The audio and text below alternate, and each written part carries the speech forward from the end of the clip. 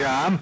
And uh, Mark has helped us a couple of times before uh, with, with candidate forums, but tonight uh, is doing so for the first time as reporter with NBC4. He covers D.C., Maryland, and Virginia. Also a senior correspondent for WNEW Radio and the host of News Plus, a weekly public affairs program on DC 50 TV. Segraves is a, an award-winning investigative reporter and talk show host. He has been covering local politics for more than 15 years.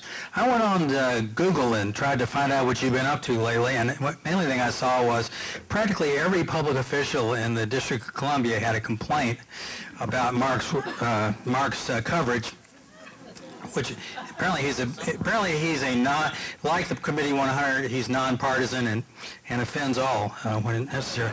Uh, for nearly 10 of those years he was on. Converted from the script I wrote. it wasn't in here. No, he didn't mention that. He was for 10 of those years he was on WTOP radio as host of the Ask the Governor program. Uh, so without further ado, I turn it over to Mark Segraves for this evening's 31st uh, District Forum. Thanks very much, Annie.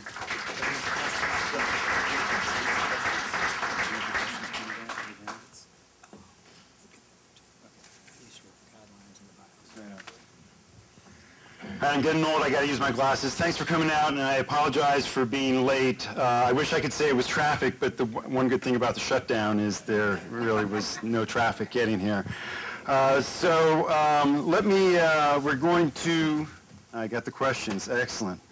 Um, before we get to the candidate's opening remarks, uh, let me go over the guidelines, uh, the rules, uh, the do's and don'ts. Uh, first, I'm going to introduce the person who is the most important gentleman, the most important person in here, and that is our timekeeper tonight, Jim O'Connor. All right, so he has color-coded cards, two minutes, one minute, 20 seconds, and now I'm really in your face at this point. If we, if we get to this point, it's, you've, you, you have gone too far. So candidates, please uh, keep an eye on the time clock. Um, after the candidates uh, uh, give their opening statements, you can welcome them with a round of applause, but we had asked that during the questioning, uh, that you don't applaud. Uh, you, you, you just hold that again until the end of the evening uh, so that we can get to as many questions as possible and so the candidates uh, can give you as much information because that's really the reason everybody, I believe, came here. One thing I like to do before we start debates, I got to tell you, I think this is the third or fourth year I've been here. This is the biggest crowd I've seen uh, for one of these, so well done, you guys. How many people here right now are undecided as to how they're going to vote in this race? All right, well, target, target those four. They, the rest of you are excused, actually, if, if you wanted to make some room up here. Uh, the questions here were, uh, as uh, Denny was telling you earlier, uh, were compiled by a panel uh, with the Prince William Committee of 100, uh, 100. They cover a range of issues that will be uh, affecting or facing the General Assembly uh, that one of these gentlemen will have to deal with. So with that said, does anybody know, did we flip a coin? Do we know who's going first? All right, all right, Mr. McPike. All right, so um, let me do this. I will I have uh, introductions here for each of you, so I will uh, introduce uh, Mr. McPike. Jeremy McPike was born and raised in Prince William County. He and his wife Sharon live in Dale City with their three daughters. For over a decade, Jeremy has served as a volunteer firefighter and EMT with Dale City Volunteer Fire Department. For his years of dedicated service, he's been honored with life membership with the fire department. He helped found the Dale City Volunteer Fire Department Foundation, which helps to fund public safety initiatives in our area. For the past 12 years, he's worked for the City of Alexandria using his experience in construction management to make sure public building projects come in on time and on budget. He currently serves as Director of General Services, where he leads a department of 67. Ladies and gentlemen, the Democratic candidate, Jerry Mc, Jeremy McPike.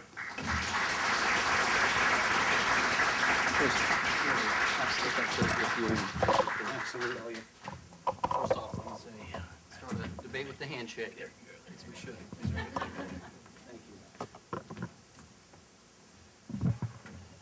Actually, let me use that mic if you don't mind. Timekeeper, am I still okay? You are. All right. How's the sound sounding back? Well, first, I'd like to thank the Committee of 100 for hosting the debate. It's important we get a chance to talk about the issues. Thank you to my supporters who are here tonight, and especially to my family and to my best friend of 23 years, my wife Sharon. Give a clap out. We're allowed for that, right? You know, I, I made the decision to enter this race because Scott Lingamfelter is really no longer focusing on the issues that are important. As an example, Scott's legislation this year, he patroned House Bill 2223, which is a conspiracy theory that the United Nations is trying to take over Virginia. And then February, Scott in February supported a bill that would have Virginia print its own money. And then, and if that wasn't enough, Scott in 2012 supported legislation that severely limit a woman's access to birth control. Government has no place in the bedroom, folks. Scott's priorities are wrong for the district and wrong for Virginia. And they're distracting from the serious issues that our representatives were sit, sent to Richmond to deal with. And what are those important issues? Transportation. I supported Republican Governor Bob McDonnell's transportation plan, along with Lieutenant Governors Bill Bolling and House Speaker Bill Howell. They recognized the critical state of our failed transportation system and took action. I'm an I-95 commuter myself. I commute an hour each way to working back in morning and night. Mr. Lingamfelter, on the other hand, took every opportunity to vote down one of the most important pieces of legislation in the last 25 years, the bipartisan transportation bill. Our area is an economic engine for the state. If you cut off the fuel to the economy, the engine dies. That's why Mr. Lingamfelter received the worst score of 52% from the Prince William Chamber of Commerce. That's an F under any grading system. On education, let's talk about this. I've got three girls in public schools here. We must reform our standard of learning. We've got to allow our teachers to teach and not just teach to a test. Mr. Lingamfelter has attempted to gut public education repeatedly, putting our children's future in jeopardy. Last year, Mr. Lingamfelter got a 0% rating from the Virginia Education Association. Education is an investment, not an expense. I'm proud to have the endorsement of the Virginia Education Association. Now, I want to be clear. I'm a fiscal conservative. I've made tough choices in government, balancing my own department's budget and cutting where necessary to make sure it gets where investment is needed. What concerns me most is the uh, loss of the art of compromise. And we've seen it tremendously this week in Washington. I'm in this race to make sure we don't get, like Washington, constant gridlock, not addressing the issues that are important to the people, and not getting sidetracked by the extreme issues so we can focus on the issues that are important to our families. As a husband, as a father of three, as a firefighter, I've experienced many of the important issues facing our community. Growing up, I was taught to leave it better than we found it. And as your delegate, that is what I intend to do. Thank you.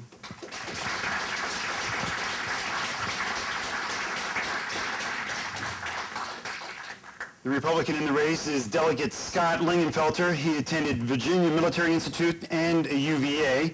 Uh, he was a colonel in the United States Army where he retired after 28 years of service. He was first elected to the Virginia House of Delegates in 2001. He's a senior member of the House Appropriations Committee and a member of the Education Committee and chairman of the Militia, Police, and Public Safety Committee. Delegate Lingen- Lingen- Lingamfelter, I apologize, sir, in advance, is married. I was 12 before I could spell. I appreciate that. Uh, It is, uh, is married to former Shelley Glick of Bridgewater, Virginia. They have three children, Amy, John, and Paul. Ladies and gentlemen, the Republican candidate for this seat, Delegate Scott Lingamfelter. I I think, I think this is on, is it not? Okay, good. Well, after that introduction, I feel so bad about myself, maybe I should just quit the race. Um, You know, folks, this is a time of great contrast in the country. I, uh, I served the country for 28 years as a soldier, and I have never seen the turmoil and the disruption that we see in this country today. Look at the complete dysfunction of Washington, D.C., the Congress and the White House. We're all looking for leaders They don't seem to be present. You know what I like to say to folks? What a difference 90 miles makes. You know, this January, we will go to Richmond. We will consider probably 3,000 bills. Probably 1,500 of them or so will get to the floor of the House. They'll go through a very robust committee system. All the bills will be heard. Not all of them will be agreed to. And we'll do a biennium budget. I sit on the Appropriations Committee. We'll do a responsible, balanced budget as our Constitution requires. We'll get the work done. We'll pass the legislation. We'll get the bills done. We'll have our debates. We will not always agree on the approach. Folks, that's called democracy. But we will get the work done. And we will focus on Virginia's core responsibilities. I take that work very, very seriously. I don't go down to Richmond and vote for something just because I'm told to vote for it. I apply my own experience and my understanding of what I believe is best for my community and the citizens and the taxpayers. Folks, the money that you send to Richmond is your money. It's not the government's money. It belongs to you. And we have to be fiscally responsible. And at a time when families are struggling and small businesses are struggling, raising taxes is not a good idea. And that's why I took a principled position against it, even, then, even when the governor called me and asked me personally to vote for the bill. I had to consider people who are struggling to make ends meet. Folks, at the end of the day, it's not about accusations. It's not about I gotchas. It's not about political talking points. It's about doing the right thing. Finally, I'd like to say I'm very happy my wife of 33 years is here, Shelley Lingamfelter, and she is a kindergarten teacher in Prince William County and my educational advisor.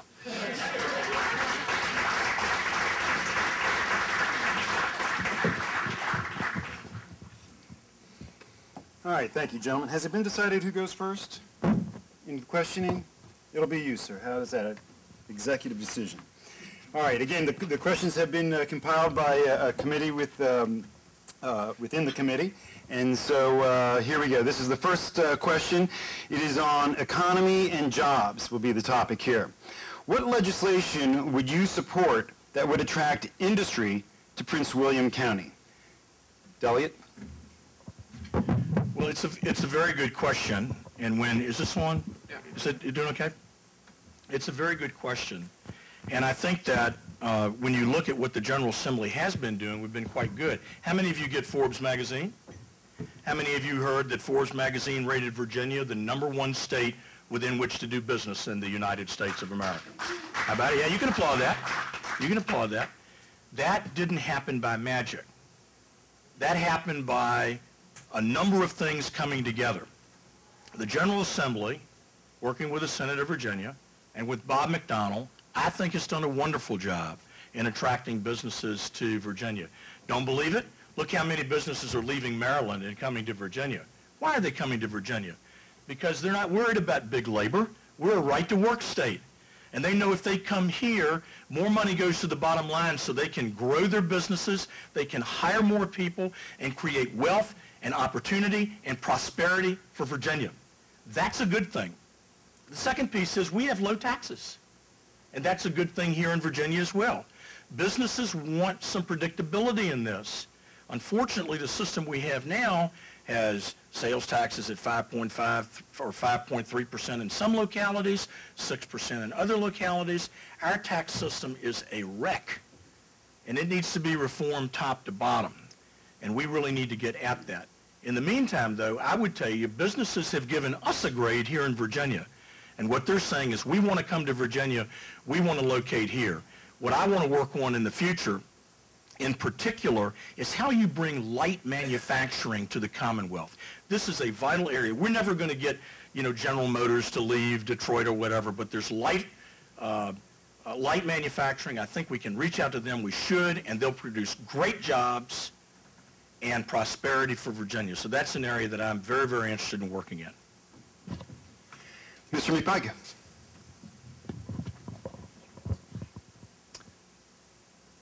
This is one of the, the most critical issues, but first let me start. March of this year, Republican Governor Bob McDonnell stated that Virginia has slipped from number one down to number five, and the reason is because of the failed state of our transportation infrastructure. He had the courage, along with other legislators, to step up to the plate. Now, I'm sure some would call them rhinos, or Republican in name only. I call it leadership, and that's bipartisan to recognize the deficit at the table and what it means to Virginia's future. They had the courage to step up and say, yes, we have a transportation issue. Our family's commuting up and down 95 and how we're choking off our economy, that's a problem. And so what's changed between this spring and now? We have a bipartisan transportation bill. We've made the right choices as as Virginia. Scott voted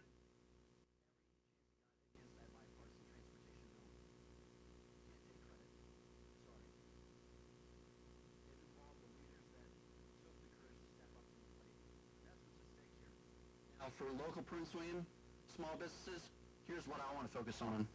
We've got small businesses. We've got a great source here with Quantico. We've got high-tech IT jobs, and we've got innovation at George Mason University. We've got a hub in the west and the hub in the east. We need to start to focusing on building off of those assets and resources. We've got great uh, human capital here. We've got to use it to build jobs closer to home. One of the things we can look at is looking at an exemption for BPOL tax for small businesses starting up in their first three years. The first three years is one of the most important times of a small business. That's what I'm bringing forward to make sure we can invest and make sure our small businesses and our entrepreneurs have the opportunity, especially in these times when those who want to break out and start their business can do exactly that. Thank you. Our next question is a healthcare question. Uh, Mr. McPike, we'll let you go first uh, this round. Do you favor Medicaid expansion? Mr. McPike? Thank you. Healthcare and Medicaid expansion specifically, you may, many have heard this, um, is tremendously important. It has the opportunity to expand 400,000 Virginians Medicaid. 400,000 Virginians get an opportunity here. It'll also estimated to create 30,000 jobs with our money. With our money. It's estimated that it's $21 billion over the next seven years. That's our money that we hear others rejecting, which means that money, our money, is going around the nation and not back to Virginia. Folks, I want to make sure we get our tax dollars back here working for us. Now, it has a personal place in many for me. And my wife, Sharon, is a, actually four years ago today, she was diagnosed with breast cancer. And I know the tough choices we would have to make had we not had insurance there are a lot of hardworking families that are doing the right thing that can't make ends meet. Going through those financial choices is, is not an easy one. We need to make sure that our Virginians have access and don't have to face financial ruin over difficult financial decisions. We've got to make sure we got we have our tax dollars coming back to Virginia. They're our dollars. They should be working for you. And Delegate Lingamfelter, Medicaid expansion? Very concerned about Medicaid expansion as a member of the House Appropriations Committee. We've looked at the numbers, and we are talking about potentially hundreds of millions of dollars here in Virginia that are currently unprogrammed for this. And Jeremy says, well, you know, we're going to get all this federal money as if it's free. Folks, I agree with P.J. O'Rourke who said that if you think health care is expensive now, wait till it's free. The Affordable Care Law is rapidly going to become the unaffordable care law. And I am very concerned about it. Let me tell you what needs to happen. We need real reform. There are billions of dollars, folks, billions of dollars in Medicaid fraud in the United States today. We don't even sell health insurance across state lines. Now, some of the aspects of the Obamacare bill made sense, and most people support it. The notion of if you want to keep your kid on your policy, fine. The preconditions piece, good idea. But I can tell you now that there are real things that need to be done to reform health care. And I got to tell you, nobody's talking about it, but the number one thing in my judgment is tort reform. You have doctors, nurses, hospitals basically paying a ransom to lawyers. And I'm sorry to the lawyers in the room. Have a nice evening. but the truth of the matter is we need tort reform in this country or you're not going to have health care reform. When I go back to Richmond, that is an area that I intend to continue to work in. Worked in it last year. But I can tell you this. I've had two hip replacements, and I have successfully conquered prostate cancer. And I'm glad that I made the choices that were best for me and my health care and not the government. Uh, we're going to hold our applause. Remember, we all agreed to hold our applause. Uh, had I shown up on time and been here for rehearsal, I would have known that the delegates are also entitled to a one-minute rebuttal after each question. And so we're going to implement the rebuttal uh, minute right now. Uh, so, Mr. Pike, uh, a minute on uh, tort reform or... Thank you. Well, a quick, a quick minute on, frankly, what those reforms are and what they mean. Okay, we've got our health at stake and the reforms. Let's talk about reforms. One of the things that we've got to be careful of, if you talk to doctors and doctors' offices, is the level of administrative detail to do it. We've certainly got to do it, but we've got to focus on a system that is patient-centric, and that's the key to successful healthcare. It's too choppy right now. We've got to get back to the basics of focusing on the delivery of service. And we've got a, a lot of organizations across Virginia that have been working through that for years, and Republicans and Democrats support reform, but we've got to make sure we've got our tax dollars working for us. That's what I'll push for is to make sure we've got the best system and the system that's working our tax dollars for us here. Thank you. Uh, Delegate, you get a minute, but I believe you want to actually go back to transportation I with your do. minute. I do. I would have looked forward to a slight rebuttal there. When you look at legislation as a legislator, you have to look at all of the legislation and you have to ask yourself, what are the unintended consequences? I want to share a few things with you why I voted against the governor's transportation plan. First of all, it increases taxes. I already spoke in my opening about what I believe is not helpful in an economy which, who thinks the economy is robust? Nobody. We are in a sluggish economy, and the last thing we need to do is be raising taxes. We have created two tax levels uniformly in Virginia. We have maintained the same sales tax across Virginia until this year. And now we have 5.3 for some and 6% for others. I didn't agree with that. We raised the automobile sales tax in, from 3% to 1.15%. We unfairly target Prince William with higher taxes, with real estate recordation taxes.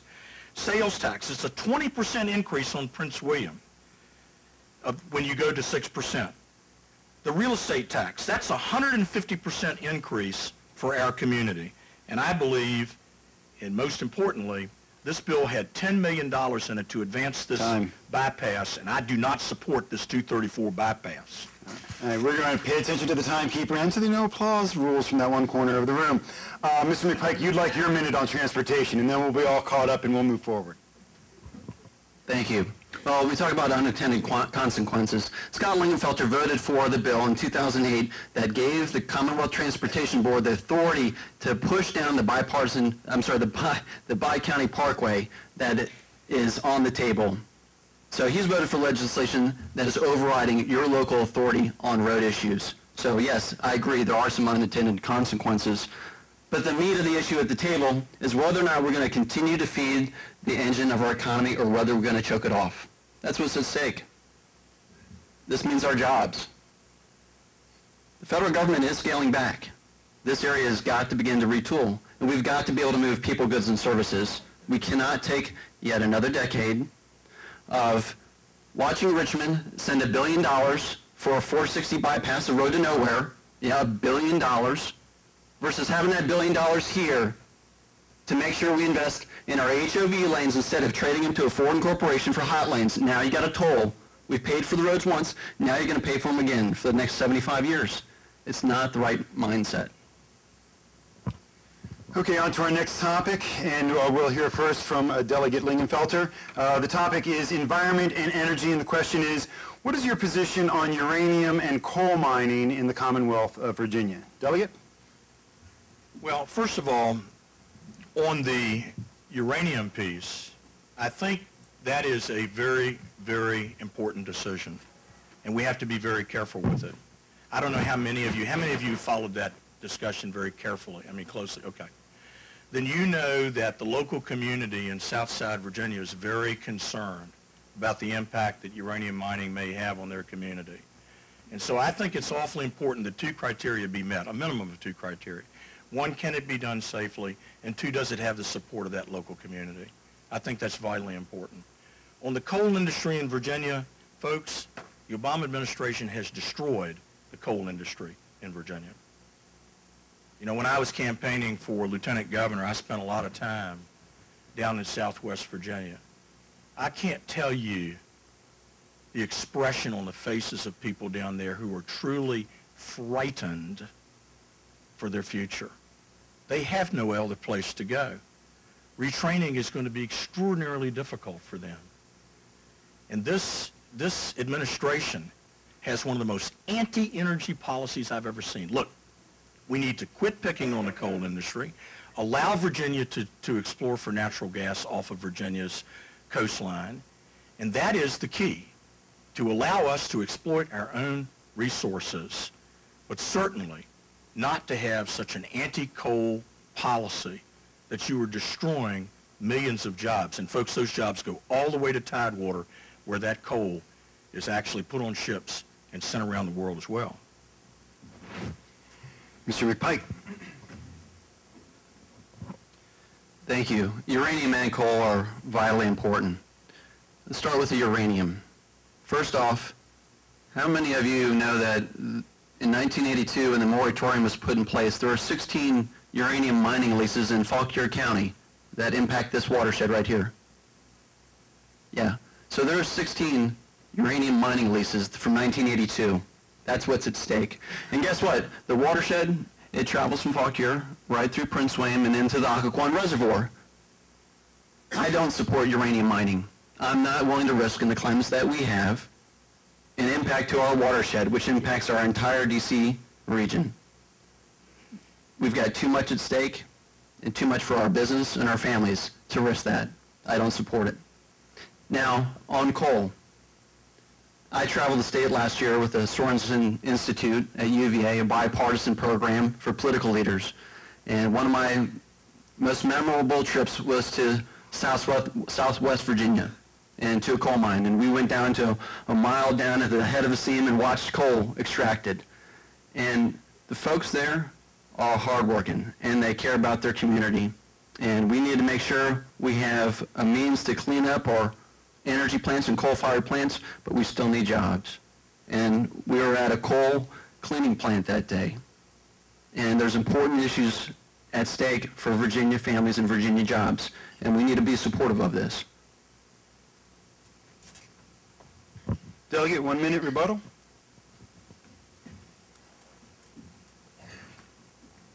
The proof is in the pudding. How many are happy with the notion that we are dependent on foreign oil in America? Yet we can't get this president and this Congress to agree to allow Virginia to explore off of our own coastlines. We can't even get the Keystone pipeline built in this country, which would create hundreds of thousands of jobs around America.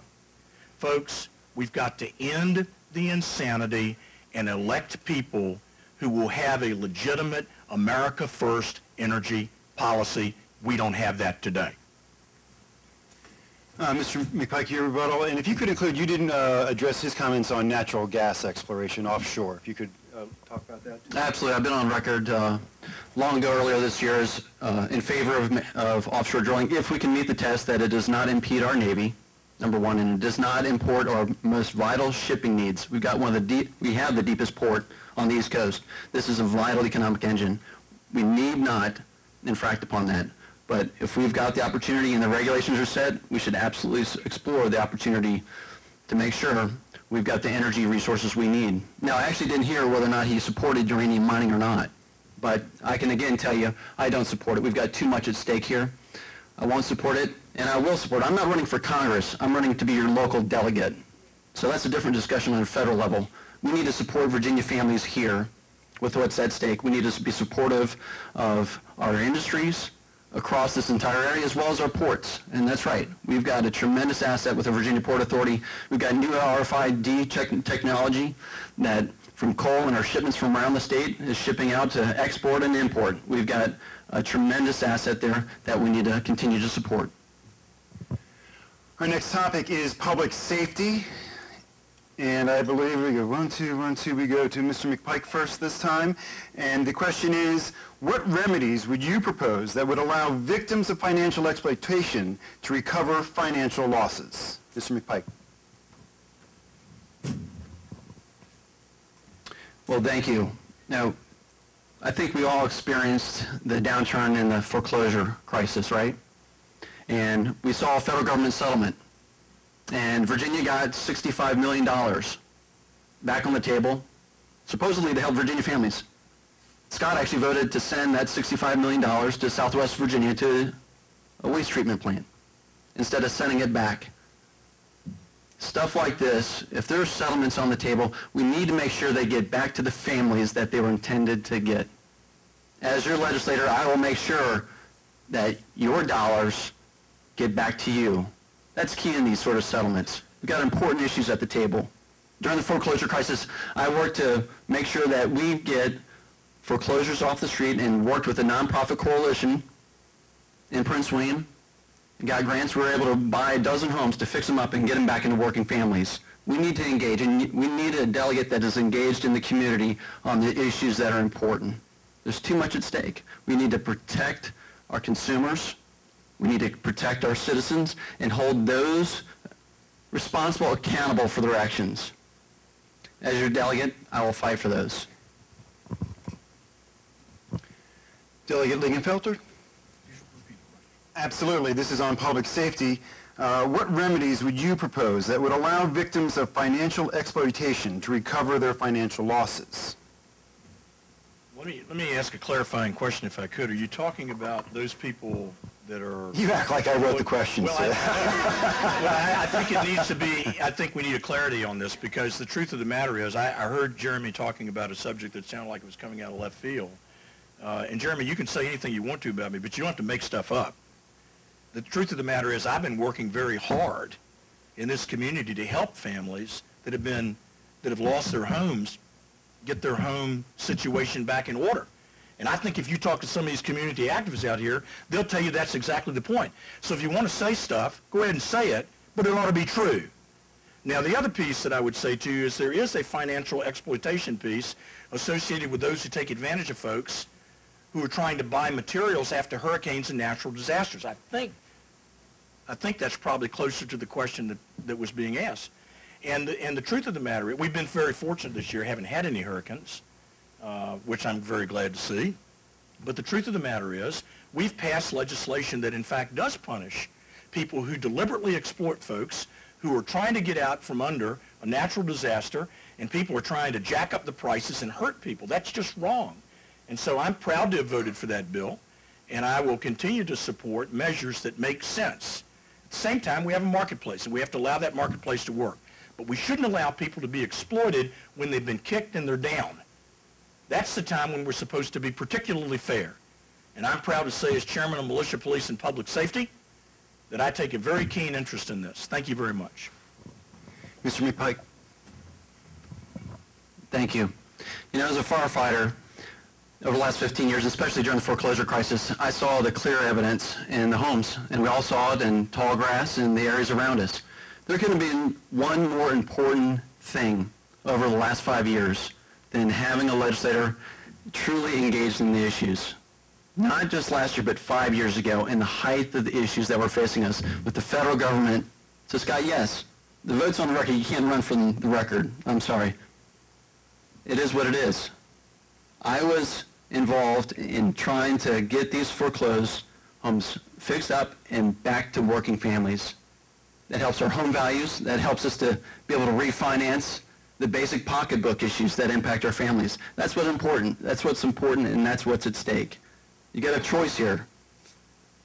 Who to rehire or who to hire. That's what this is about. My pledge is to be involved and engaged in this community on every issue that impacts families, period. Delegate? Well, I guess, Jeremy, you were too tied up with building a police building in Alexandria a couple of years ago when I was standing in front of the Appropriations Committee, shoulder to shoulder with SALT, helping them get an appropriation to deal with the mortgage crisis here, particularly people who have been taken advantage of. And so you can go and find whatever obscure votes you want, but the proof is in the pudding. And I would invite you to go see the SALT leaders. And you ask them if I didn't stand shoulder to shoulder with them. And I think what they would tell you, Jeremy, is that I did. And I was proud of it. I think Rich Anderson and I both went to a community-wide meeting. A thousand people there, Jeremy. I don't recall seeing you there. But I was there, and Rich was there, and we were standing for the people who were in harm's way and had their lives turned upside down. And so, folks, words are one thing, but where you stand is another. And I stood with a command- community that was hurting, and I'm proud that I did. Our next question is on the topic of taxes. Uh, Delegate, you'll go first on this one. Under what circumstances, if any, would you support raising taxes? I think that if you do legitimate tax reform, legitimate tax reform, and bring our taxes from the 19th century into the 21st century, you're going to see more revenues. That's what's going to happen. If you look at the tax system in the Commonwealth of Virginia today, we have at one level, the state level, income taxes, sales taxes, corporate taxes, recordation taxes, all kinds of different taxes, and they are pretty much geared to income and sales. In other words, the way businesses operate. But if you look at localities, those localities have some real problems because most of their taxes are associated with things that are confiscatory. That is to say, your home, your, your, your automobile, uh, your business inventory, property. And those localities don't have a lot of flexibility to deal with their own needs. We need a comprehensive approach to tax reform in Virginia. And you can't just do it at the state level. You're going to have to bring in the localities. You're going to have to get everybody at the table. And you're going to have to bring that tax system into the 21st century. I would tell you now, and I've looked at it every way you can, if you do legitimate tax reform and you bring taxes and update them into the 21st century, you will see more revenues derive from those taxes. And Mark, a lot of people will say, well, that's a tax hike. What I say back is it's important to understand that if you tune the engine and it works better for you, you're going to have higher revenues. But you know what else? You're going to have downward pressure on people who want to raise rates all the time. And that's why I oppose hiking tax rates. Mr. McPike? Thank you. I- I'm not sure I heard the, the answer to Mr. Lingamfelter, whether or not he had raised taxes or not. I know he signed the no tax pledge. You know, I'm a fiscal conservative, but I think we also need to dedicate ourselves to making choices based on the information we have in front of us. It's meaningful. It, means it makes a difference to our families. You know, the interesting thing is how Virginia state government has balanced its budget over the last few years. And I have to say, I've seen it in local government, because you know what? This, the state had the oddest thing I've ever seen, and it's how they've been cooking the books. They had the aid to localities program. So get this, they remanded your tax dollars and you sent millions of your dollars down to Richmond. That's how they met the balanced budget. Okay? So what happens in return? Your local tax dollars, that's right, all of your local tax dollars, guess what? You got it, went up. So the state's got a very interesting way of balancing their interest in order to claim that they didn't raise taxes. As your delegate, I'm going to be upfront and honest with you. What choices we have on the table and what choices we have to make. If we take our top priorities and list them down, and I've done many budgets over the last decade, and you get to the bottom of the list, you got to start to ask choices. Should government be doing it? Is there an opportunity to partner with a nonprofit? Or should we be doing it at all? And I think those are the responsible choices we have to make. And then we have to own it.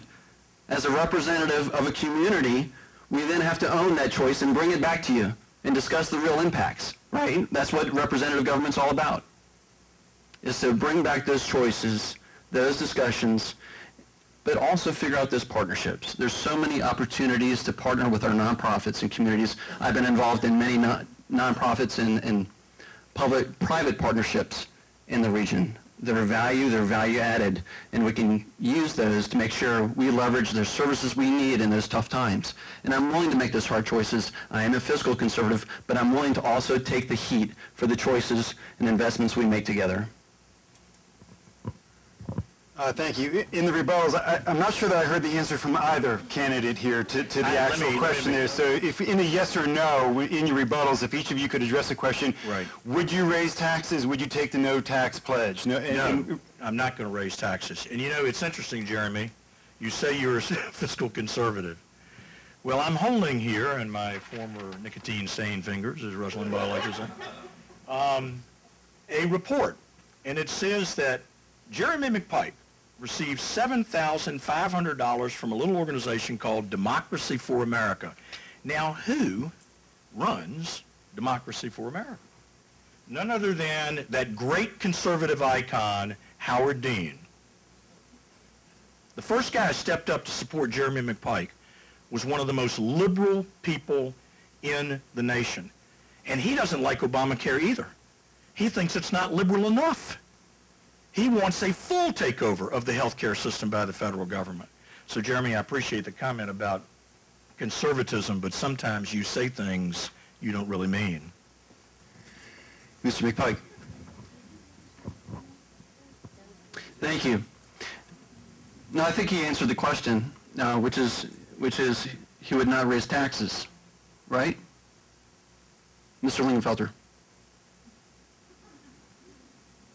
I think you got it right. All right. Promises made, promises kept. Actually, he did raise taxes, though he raised taxes on your local tax dollars. As I just said, they played the shell game on us, and they had the oddest thing, the locality aid to the state. And they remanded your local tax dollars and sent it right back up. It's a shell game, folks. It's politicians playing the game. It's got to stop. We've got to make real choices and real issues. Now, if Scott wants to talk about taking money and ethics, I think there's a lot on the table here. Yes, Scott as a legislator is taking $20,000 in gifts. It's time we change the climate and the culture in Washington, and it's in Richmond now as well. Taking gifts for your public service does not add up to service. I'm sorry, it doesn't. We've got to reform the culture. We've seen the scandal involving Cuccinelli as well as Bob McDonnell. We've got to change the climate, folks. It is undermining the public trust. That's going to be the number one thing as your legislator to bring to the table is ethics reform. We've got to do it. Easy. Our next topic now is education. And uh, the question is, uh, and uh, we will go to uh, Delegate Lingamfelter first on this one. And uh, no, we go over here to Mr. McPike. Thank you. Uh, the question is, do you support in-state tuition at Commonwealth colleges for undocumented students who have graduated from Virginia high schools? Mr. McPike. Thank you. You know, this is, you hear a lot in the media, and you hear a lot of passionate arguments about this. But you know what? As a firefighter, the last 15 years, being at the doors and talking to people, the kids we're talking about, they grew up here.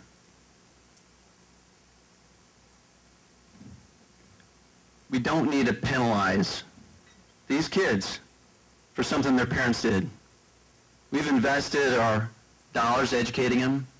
Most of them know English better than any other language. They're more American, in fact, more appreciative many times than what we have. It's time we make sure that the American dream is also extended to those kids. It's important. It's vitally important.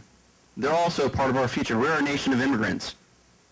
Well, we certainly have to deal with immigration reform at a national level, you know, Virginia does not have borders with a foreign country. This is a federal issue. It's got real impact and real issues. But for those who are here, we've got to make sure that they've got the right opportunity to help build in our economy. They are working. They are paying taxes. They've been in our schools. They've been in our neighborhoods. They played on our baseball teams and our soccer leagues. They are a part of our community. And we need to make sure they have a future here in Virginia. Delegate Lingamfelter. I want to take a point of personal privilege here because I take my integrity very seriously. I don't like what I've seen happen in Virginia in the last year with some of the things that we've seen revelations about gifts.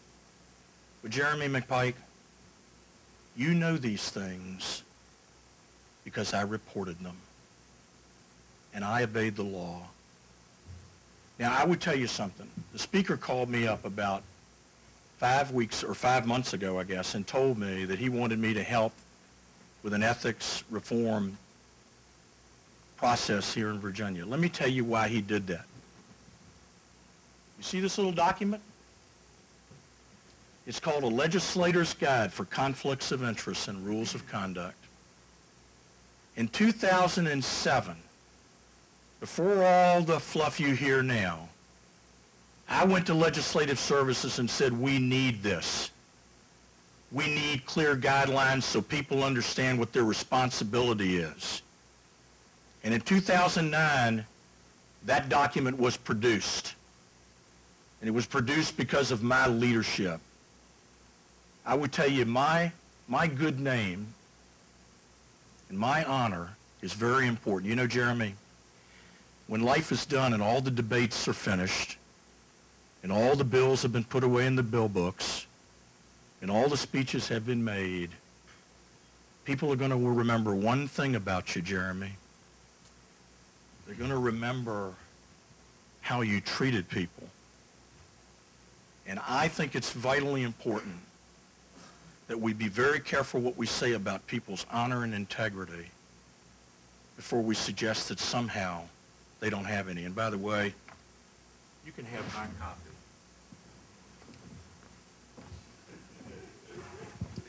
Mr. McPike. You know, th- that's a part of this sort of issue and context here in Richmond.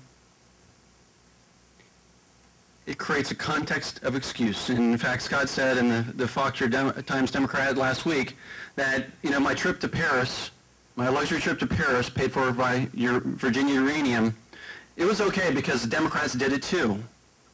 But that's the problem. People don't see when they're there that the climate around them is undermining the public trust, documented or not. It undermines the public trust. It just does. It's the basic. Okay? We've got to reform and make real reforms, not a guidance document, but real legislative reform that takes the gifts out of the picture. We pay our delegates a per diem. We pay them money to, to get food and lodging, already with your tax dollars. We don't need fancy steak dinners and NFL pro box seats that they've been getting. Okay, the police and firemen and teachers that I know, they don't get that for the service, for being public service. Neither should your legislator. It's a permissible atmosphere of permissive, permissive degradation of our public trust. That's what's at stake. So it is meaningful. We need to change. We've got to bring it. First thing in January, make sure it's filed and roll up the sleeves. And I guarantee you there's going to be a lot of resistance. I guarantee you this is going to be a fight because it's a culture that has been built up and you see the culture in Washington. and they don't even realize how far it's gone. Once you change that a little bit, they dig the nails in. We've got to change it, and I'll be fighting for it. Delegate, you have one minute. The public trust. What trust did Henry Lewis get? When he brought you, Jeremy, $2 million of aggregated spending that was very questionable, here's what he got. He got a lecture from you about how he was insubordinate and how he should be disciplined. You threatened him. You asked him, you, you threatened him with being fired, and he fought back. He fought back. That whistleblower fought back. And I am proud to say, in a court of law, a jury agreed 12 to nothing that the city of Alexandria was wrong in firing that whistleblower. And the truth is, Jeremy, you led that attack. You led that attack against Henry Lewis. So what trust do we have in anybody who would fire a whistleblower whose greatest sin was he brought you bad news? You know, when I was a battalion commander, people brought me bad news all the time. But I tried to respond in a positive way and make things better.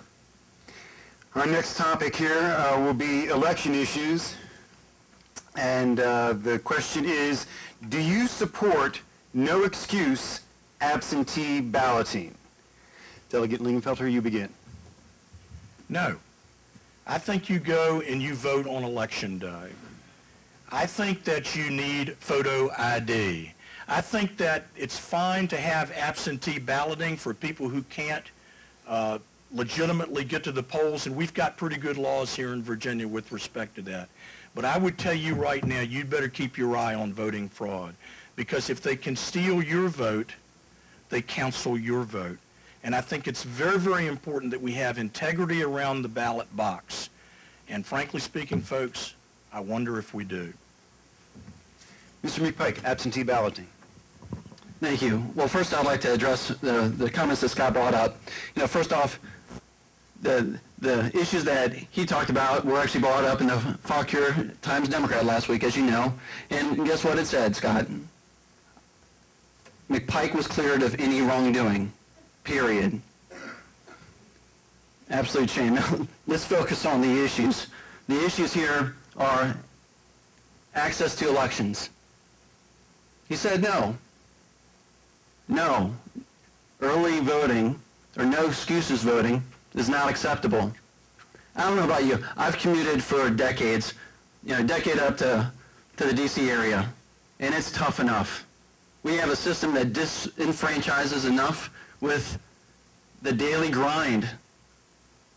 We've got to find ways and means to provide access so people can participate in the process, and yes, cast a vote. Cast a ballot. And when you look at voter ID and, and the other things, if we're going to do this, we need to make sure that it's a combination effort, not just disenfranchising as the legislation passed this year to provide voter IDs laws, but if you're going to look at it, look at it a holistic approach, which means inclusion.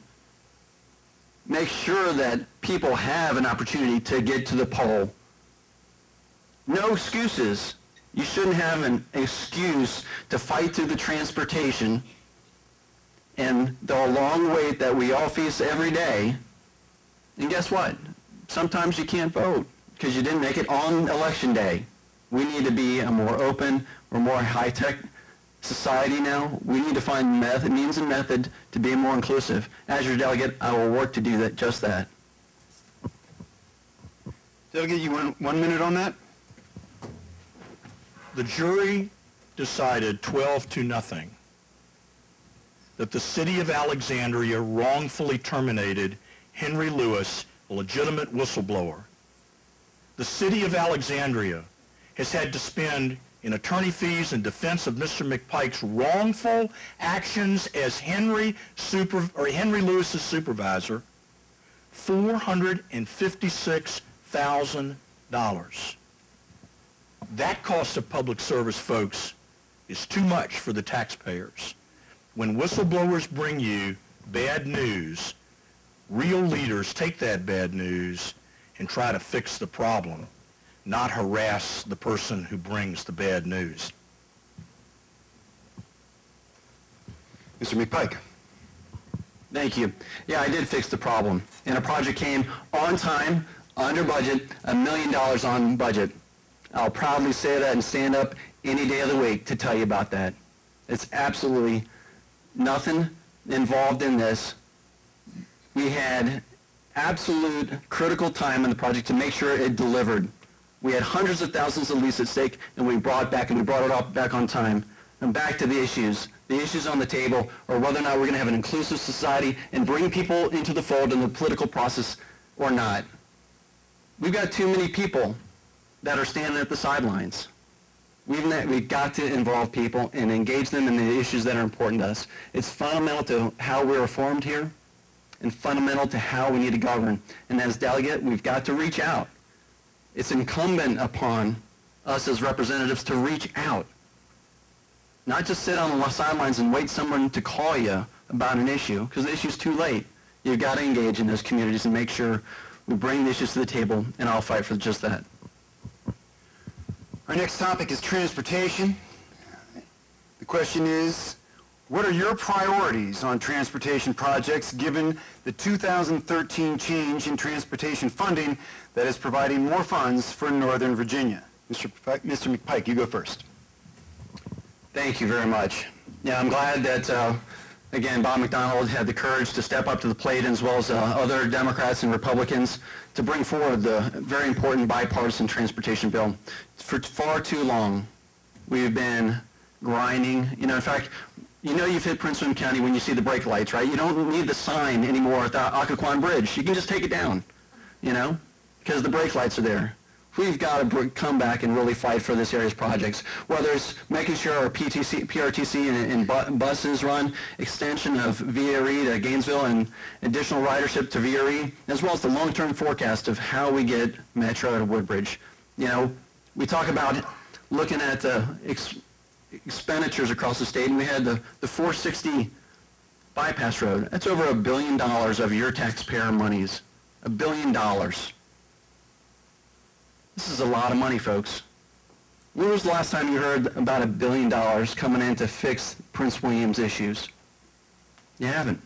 As your delegate, I'm going to be at the table to make sure we fight for our share, our fair share, to help our families and make sure our economy continues to grow. And that's the key. That's how we maintain the top position for business, is make sure we can continue to grow and have, move our people, goods, and services. That's what's at stake. It's vitally important we do that. We've got great hubs with Quantico here. We need to continue to grow, as well as Innovation Park with George Mason University and Northern Virginia Community College. We've got the resources. We've got to invest. We've got to fight to make sure it happens in Prince William. It's time we stop playing second fiddle. It's the same old music, folks. I'm going to raise your taxes. That's what Jeremy McPike is saying to you. It's the same old stuff. The truth of the matter is you are paying higher taxes in Prince William County, and you're still shipping tons of Northern Virginia money all across the Commonwealth of Virginia. So thank you very much for your interest in helping Prince William County. You've taxed us more, and you're still shipping it out of the community. Look, to your specific question, I think what we have to do is harness technology, innovation. I would support the creation of an innovation, technology, and transportation fund, direct that VDOT rewrite their entire smart travel plans. The state needs a true set of goals for technology use. Technology can be a vital help aid in moving traffic. We need to build a consumer-focused transportation network. We have to create a Virginia Transportation Solutions Working Group to work within the Commonwealth Transportation Board, which apparently doesn't even care what Prince William people think about the stupid bypass they want to build and wind up putting tons of truck traffic on 234 right through the middle of the district. I think we also have to specifically look at trans- a transportation solutions working group that would be directed to explore things like performance pricing and streamlining and reforming Virginia's traffic operations, implementing uh, what you would call SWAT team accident clearing things. Everybody just amazed at how long it takes to clear an accident on I-95. It's ridiculous. And it seems like we can take some lessons from uh, some other states that have done some innovation here. I think we need to look at the smart transportation pilot zones and the technology for drivable vehicles. What's that going to be in 20 years? And I think we ought to be thinking about that as well. And I think we have to worry about guaranteeing our own return, return on investment, creating a statewide transportation priority standard. And top on that is fixed congestion over other things. Mr. McPike. Thank you. You know, you've heard a lot. I, first off, I, I want to clarify, I don't support the Bi-County Parkway. Um, I think it's misdirected, misdirected, and we've got too much at stake across Virginia. Again, an opportunity to step up and be a champion for Prince William. Scott took a pass every chance he got this year. The environment today has got to be about compromise. We have an ability, if you don't like something in the bill, you have an ability to submit amendments. You have an ability to be a voice. But to say that we have no problem, we don't have any transportation issues is ignoring the economy issues, the family issues, the quality of life issues that we face every day, that I face every day, that I know most of you here face every day. We need a delegate that's going to step up and be a voice and make the tough choices. And yeah, you know, that's where um, many moderate Republicans have come out of the woodwork to say, you know, I feel disenfranchised from my party because I'm getting called a RINO, Republican in name only, name only. But yet I understand it takes investment. We've got to make tough choices. Delegate? Excuse me if I don't take advice on being a good Republican from someone supported by Howard Dean. Um, what compromise did Henry Lewis get, Jeremy, when he was two years short of retirement?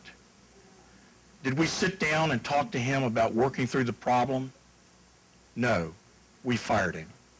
Now, with respect to 234 and the bypass, you know, this is kind of rem- reminiscent of John Kerry's I voted for it before I voted against it. Remember that little routine? Well, the truth of the matter is there was $10 million in this budget to advance the approach of this 234 wrong-headed plan. And that was one of the reasons that I did not support this bill. So you really can't have it both ways. And as far as, quote, tough choices, well, Jeremy, when the governor calls you personally, as he did me, and lobby me personally to vote for his bill, I had to make a tough choice too. And that tough choice was to stand with taxpayers. And I'm proud I did, and I'd do it again. This is our last question for the, uh, for the candidates before we go to our closing statements. And uh, the question is, should there be any restrictions on the use of drones? Delegate Lingenfelder, we start with you. Drones. Drones. Well, as an avid hunter and fisherman, I think that we deal with the drone issue as follows. There should be an unlimited bag limit, and you can possess five at any one time. Let me tell you where we ought to use drones. We ought to use drones on the borders of our United States to keep them secure and not in the backyards of people here in Prince William County. That's where we need to be using drones. Look, there is a legitimate law enforcement usage for technology. But believe it or not, while drones did not exist when our Constitution and our founders put that great document together, they were very concerned about our liberties. And it's vitally important that we also remain focused on our liberties. You know, Benjamin Franklin was fond of saying that, you know, if you're willing to give up a little bit of liberty for a little bit of security, you are worthy of neither. We are in a very tough time when it comes to, to technology, Mark and we are confronted with some tough, tough decisions that we have to make as public policy folks. Sure, there's a legitimate use for drones, But at the same time, we've got to have people ever mindful that we have this thing called civil liberties, and we need to protect them. And I swore an oath to that Constitution, both in war and peace, and I've sworn an oath to that Constitution as a delegate to the House of Delegates for 13 years, and I intend to keep that oath. Mr. McPike, drones. I don't know that we disagree a whole lot on the bag limit. I'm an avid uh, sportsman myself, and uh, in fact was um, you know happy actually um, in 1997 I actually traveled the state and helped s- purport the constitutional amendment to the Virginia Constitution to guarantee the right to hunt fish. And I'm pleased to say that several years later that passed, and uh, it's one of the important traditions here in Virginia that we need to maintain. Now, I think number one, we've got to absolutely make sure we actually have protections on the drone issues. Uh, I think we're all concerned about how government tends to creep into things. But I do, and I have heard there's some good applications for agriculture and providing technology to farmers in terms of identifying growth rates and disease and other things. And so we need to be cautious of how it's applied, but yet open to how we can encourage the use of technology to help our small businesses and to our farmers here in Virginia that's what I'll be looking forward to, to see how we innovate. We have a great tradition of doing that. So we need to be mindful when we talk about bans, but also, you know, cautious on its application. And as your delegate, I'll keep a, an open mind to those innovations and help support this economy. Thank you. One minute rebuttal on drones, sir? Rebutting on drones, okay. I'll have to refer to my notes. Uh, my, uh, my wife Shelley grew up on a dairy farm in Bridgewater, Virginia. And her sister, Mindy, uh, married her uh, Gerald Garber, who has one of the largest dairy farms in the Commonwealth of Virginia. I'll have to make a note, Mark, to call Gerald and ask him how drones will help him milk his 400 cows. Um, I'm sure maybe they can. Uh, maybe they can help him grow his uh, crops. Maybe they can help him uh, put down um, pesticides and herbicides and fertilizers. But I suspect the greatest use of drones remains in the military realm. And I think that when we allow them to spread into the police world, as tempting as it may be, I think we have to be very, very cautious because it is a slippery, slippery slope. That's the end of the questioning. We are uh, running a little bit behind schedule. We're going to get our closing uh, arguments or closing statements in here, however uh, they pan out. And d- did we decide before? Mr. Mr. Lingenfelter, you go first with your closing statement. Well, thank you, Jeremy, for um, a robust debate. It, clearly, we do not agree on a number of important issues. Um, but that's what, that's what democracy is. That, that's what it is. There, it's, it's where two points of view come together and we have to decide. We have to decide what the best course is for our community. I would suggest to you that I am the best choice for this community, given my experience, given my focus, given my work ethic, and given my record standing and taking tough stands, even when they're not the most popular stands. Tough nonetheless. Look, you can go to Jeremy's website. And you can read all about the things that he cares about. You can go to my website. You can, how long do we have, Mark? What is it? It's five minutes? Okay, five minutes. You can go to my website and you can you can read about me. I'm not going to spend a lot of time in doing policy wonk stuff. I want to use my closing moments to share with you what's important to me. When the founders brought this country together, they had three things they did. Number one, they won revolution. Well, so what? So too did the Russians and the Chinese and the French. They all won revolutions. But all those revolutions fell back into a demonic despotism that was worse than what they overthrew in the first place. What our founders did that was unique to them was having one revolution, they ordered revolution. And they did that through our Constitution, something I'm sworn an oath to for 28 years in the Army and 13 now here as a legislator. But our founders did something even more brilliant than that. Having one revolution, an ordered revolution, they sustained revolution. And the way they did that was by advising us to do what Patrick Henry and George Mason used to say, which is a frequent recurrence to founding principles. Thomas Jefferson was a little more radical. He thought we should just have a revolution every 20 years and be done with it. I think the frequent recurrence thing works best. But having one revolution, ordered revolution, and sustained revolution, that's the triangle our founders came up with. But it's that last piece that fascinates me, sustaining.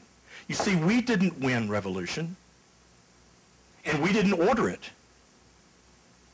But the mission our founders gave us was to sustain it. And the way that revolution is sustained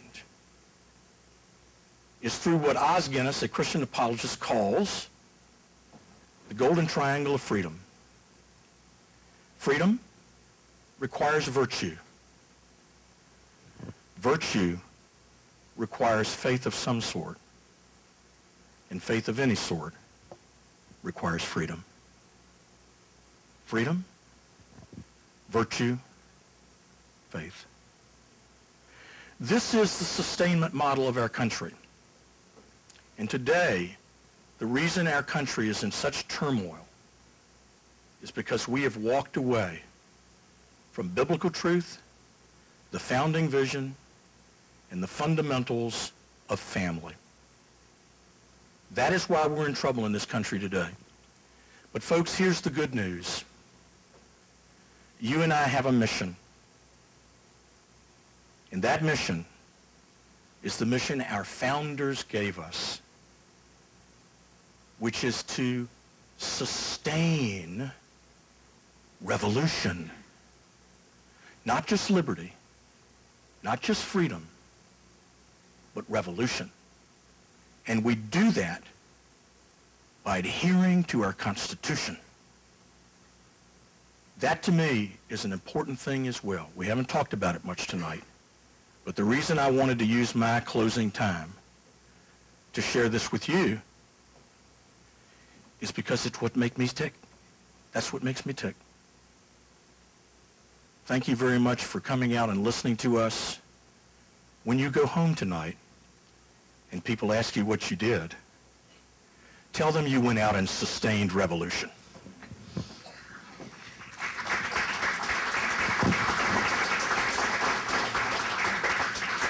And now Jeremy McPike. Jeremy McPike. It's only fair that I screw up your name. Th- Thank you. E- Equal opportunity. Like to, uh, to take a crack at the name there. Uh, Thank you again to the Committee of 100.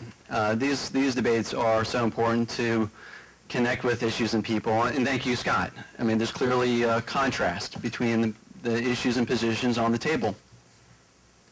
I want to keep government limited and government out of your personal lives. And there's a stark contrast on these issues. On transportation, you've heard the contrast on whether or not we're going to be able to invest in making sure our economy grows, that we have jobs for our families, and we invest and make sure our local chambers in Prince William and Fauquier continue to be the best. You've heard about a little bit about education.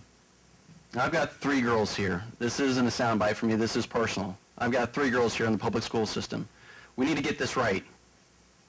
Education is not an expense.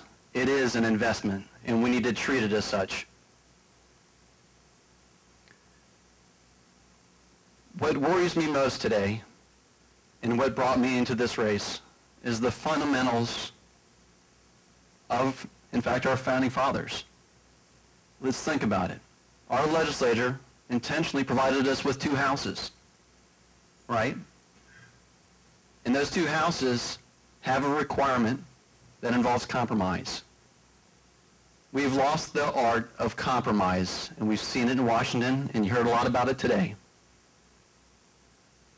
We've got to restore having a statesman represent us on the issues. That means you might not always like everything in a bill, okay? You might not like everything, but that's what compromise is about, is finding out the best pathway forward. That's what we need to do to work on our tough issues, on standard of- of learning reforms, on making sure we get the right investment in our transportation. That's what we need to do on our ethics reforms. This is on the table. We've got to make sure we drive these points home and we leave it better than we found it. That's what I was taught growing up. We're supposed to leave it better than we found it. I've been doing that in local government. I've cut my local budget by 18%. My projects have come in on time and on budget. I'm focused, and I've been focused on my faith, my family, and serving my community as a firefighter for the last 15 years. And I've been many, with many of you in the best of times and the worst of times. And I'll continue to do so. There are life lessons that you learn by being with people, by being at the doors and being at their side. And as your delegate, I'll continue to do that. It's important we pick up the context and bring that learning, that life learning to the table in what we do. It has meaning. It has meaning to me every day with what I've seen and what I do. And I look forward to continue this debate over the next 30 days. And there are a lot of important issues coming here in January. And I look forward to hopefully representing the 31st District and proudly represent the Prince William and Fauquier community through the tough issues. We got a lot more issues on the table coming up. Stormwater is going to impact businesses. It wasn't talked about today. Look it up. There are lots of regulations that are coming. We need someone who's worked in the sustainable environment issues to make sure we take a regional approach. This is a billion dollar issue, a billion with a B dollar issue on EPA regulations. We make sure, we need to make sure we've got it right. We need to clean up the bay, but we need to do it wisely. This is a major, major issue. I'll be fighting to make sure we figure out a path together. Again, we've got to look at our agricultural interests, our rural communities, our suburban communities, and our urban communities to make sure we've got the right formulas for this. This is an important issue. Now, a lot of people are coming and, talking about it right now, but it is. It's coming. The state's right in the regulations. We've got to get this one right. What does this all lead back to? It's jobs and economy. This is going to hit the economy. Our investment in education impacts our economy. Whether or not we extend in-state tuition to those we've brought up through our communities, these issues matter. And on transportation, whether we're going to commit to continue to move people, goods, and services, or whether we're going to accept the status quo, what we have today, as being okay. And whether or not we're going to increase toll roads as a solution to our problems. I say no. I see we've got to invest where investment's needed and make the right and tough choices to do it. I thank you very much for spending these, these moments together. I'll be working hard over the next 30 days to reach out and meet and talk about many of the family stories and, and let's hope that Congress gets its act together and they learn the lesson of being statesmen and compromise. That is a fundamental value. Thank you.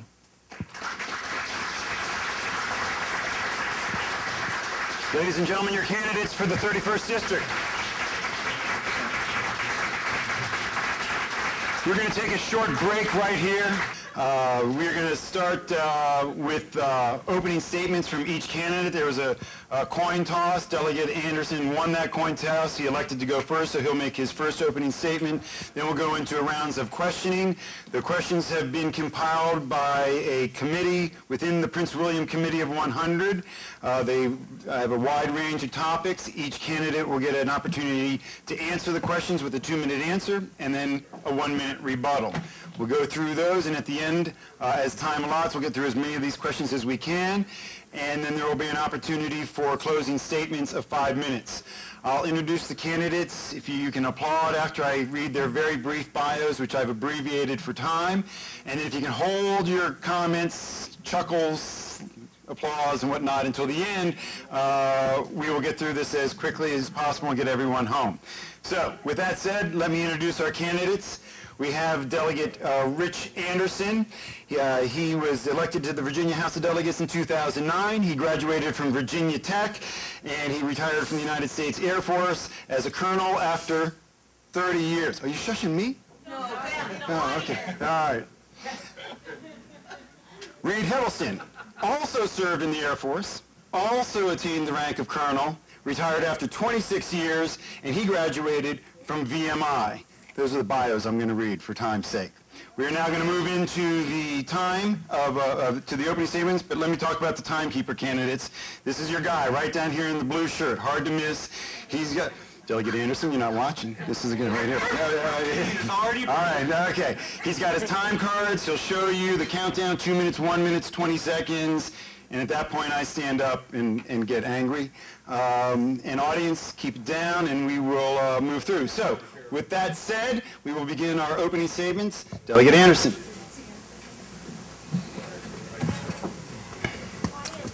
Thank you, Mark. I sincerely appreciate it. Uh, I'd like to start off by thanking the Prince William Committee of 100.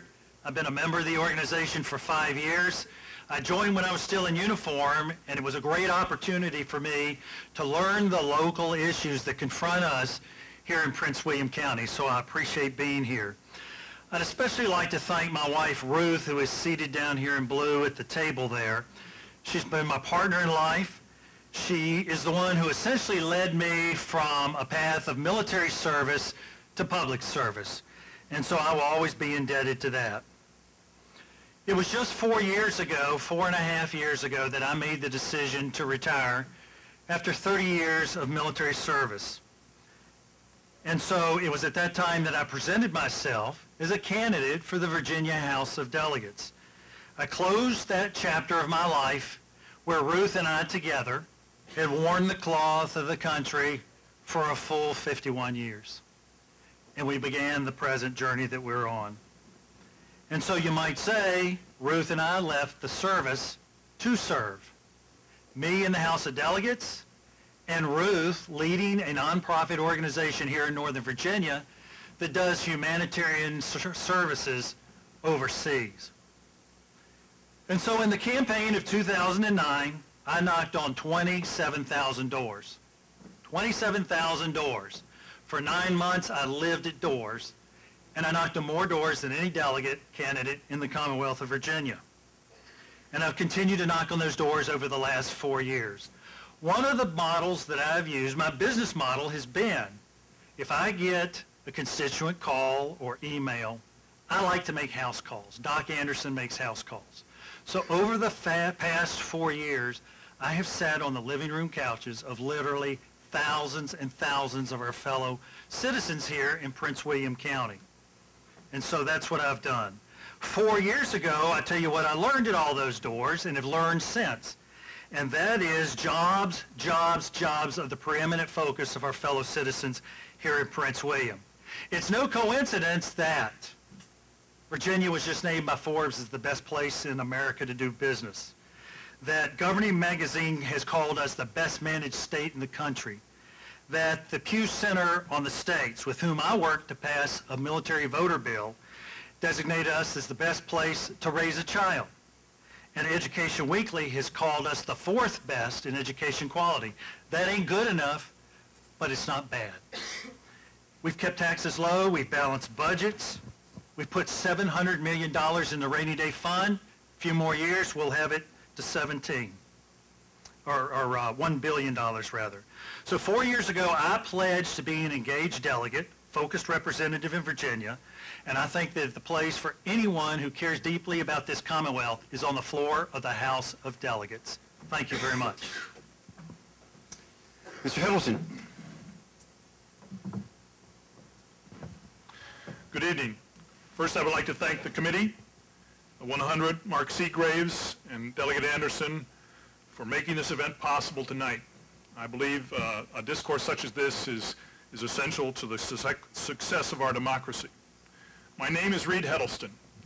I'm a father, a grandfather, an Air Force veteran, a husband, and a businessman. I was born in Seoul, Korea, the son of an Army officer. Like many children in this district, I grew up on, arm, on or near Army posts in the United States and Germany. I was selected for a four-year ROTC scholarship at VMI. Following my graduation from VMI with a degree in economics, I studied at Emory University in Atlanta where I received an MBA in finance. Following my graduation in Atlanta, I reported to flight school where I earned my flight uh, wings in the United States Air Force. I had the privilege to serve in the United States Air Force for 26 years, primarily flying and buying bombers. I had the honor to command a squadron and a flying group, the highlights of my career. I retired out of the Office of Secretary of Defense and began working for Science Applications International Corporation, a Fortune 500 company here in Northern Virginia. During my 14 years at SAIC, I worked my way up from program manager to senior vice president, where I managed the 200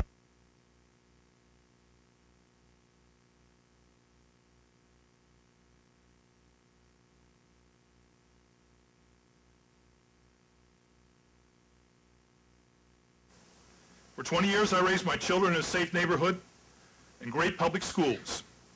I was able to work as a businessman in a state that was named the number one state in the country to do business. And I know this is hard to believe, but at one time I didn't spend most of my time stuck on 95 trying to get home to my wife and children for supper.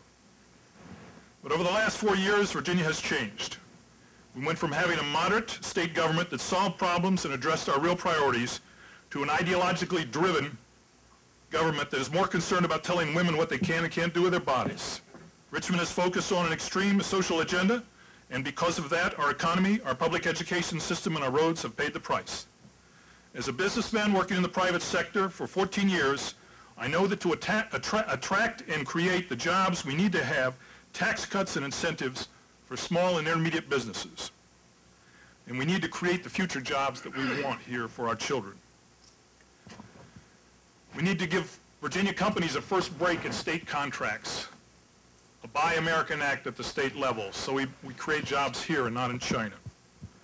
And I will also fight to turn around Prince William County Public Schools that currently have the highest class sizes in the state and the lowest teacher pay in the region, the second lowest teacher pay in the region.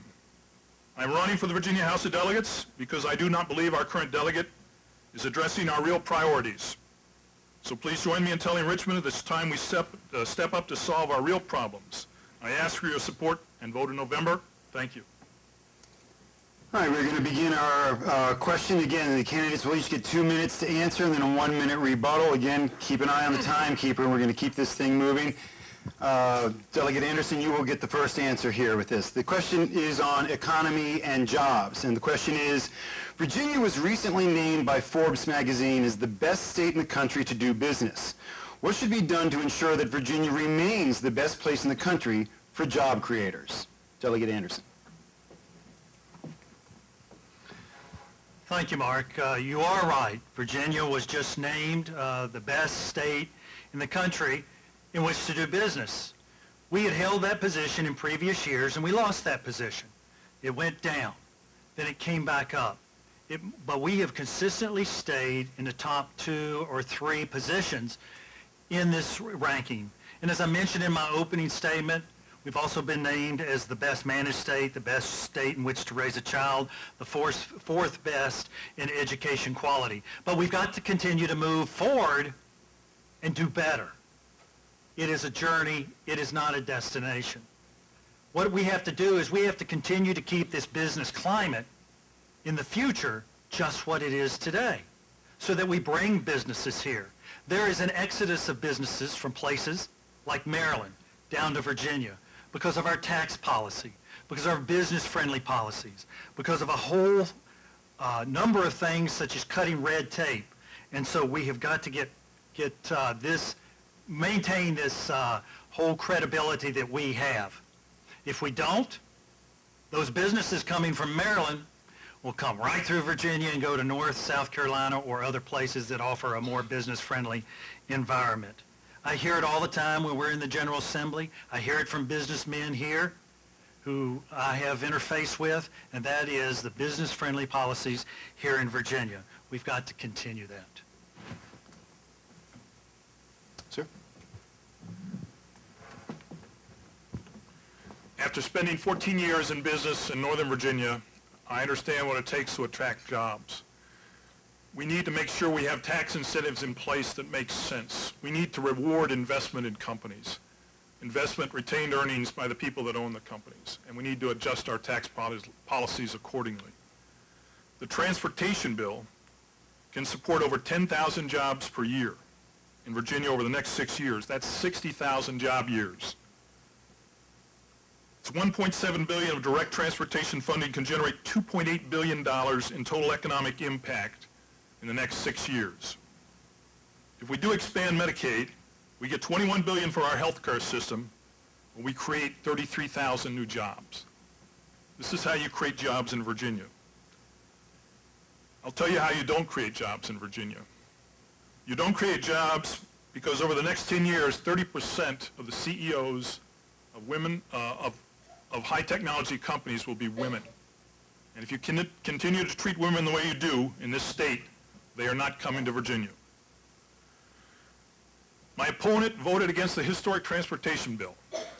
What he fails to point out is, yes, we were first in the nation, and we dropped from third to third and fifth, primarily because of our failure to fund a transportation bill. We funded a transportation bill, and now we're number one. That's the reason we're number one again. My opponent likes the idea of sequestration. I will tell you sequestration is absolutely the worst way to run a government there is, and we're beginning to feel the effects of that. So we need to create jobs because we're going to have to offset what is happening at the federal level. Delegate Anderson, one minute rebuttal. Well, there's no way I'll answer all that with just one minute, so let me just say this. Creation of jobs. I carried a bill that has now put nearly 4,000 veterans back to work in full-time paying jobs when 90% of the jobs in this country over the last five years have been part-time jobs. The Virginia Values Veterans Program. I'll talk about that more later. Sequestration. I'm not a fan of sequestration. I've got two friends down here that are suffering from that and people from all over this county. I had a sequestration town hall with a sellout crowd here in Lake Ridge.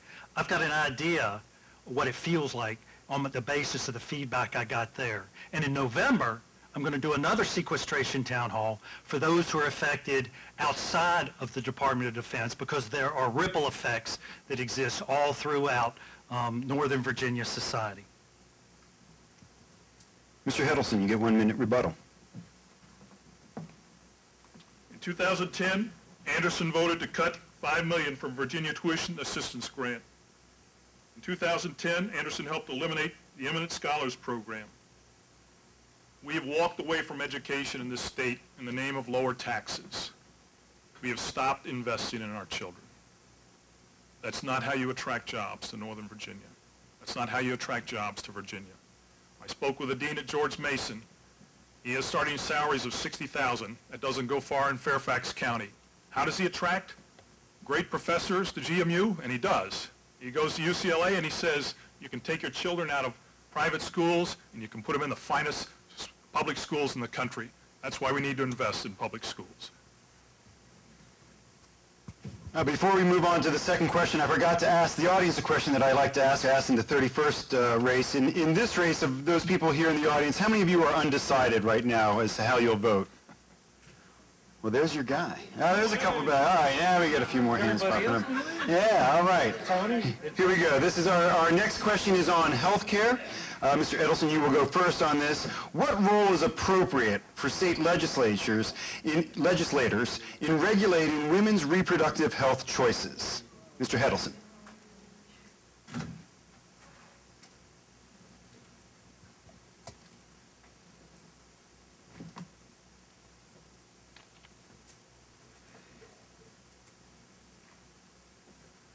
As a husband, a father, and a grandfather, I know the last thing politicians need to be is involved in personal health care decisions of women. I believe this decision to use birth control is between a woman and her doctor. A politician has no place in this discussion. The government does not belong in our personal lives. I respect women to make their own health care decisions. Delegate Anderson. This is your first two minutes. Thank you. Let me just put a, put a phrase on the table because it's sitting there. Let's talk about it. War on women. That's what you've heard from this gentleman over here. War on women. It is a fictional construct. It is fictional. What is factual is the war on your wallet. I am pro-life. I ran as a pro-life legislator in 2009 and 2011. That is broadly known. I'm not going to apologize for my positions on that issue, but I'm practical. I cannot stop abortion. No governor, no president, no congressman, no legislator, no doctor, no newspaper editor, no citizen. And so I'm practical about it. My vote on the ultrasound bill was for women's health. Why? In virtually every instance, the procedure is performed.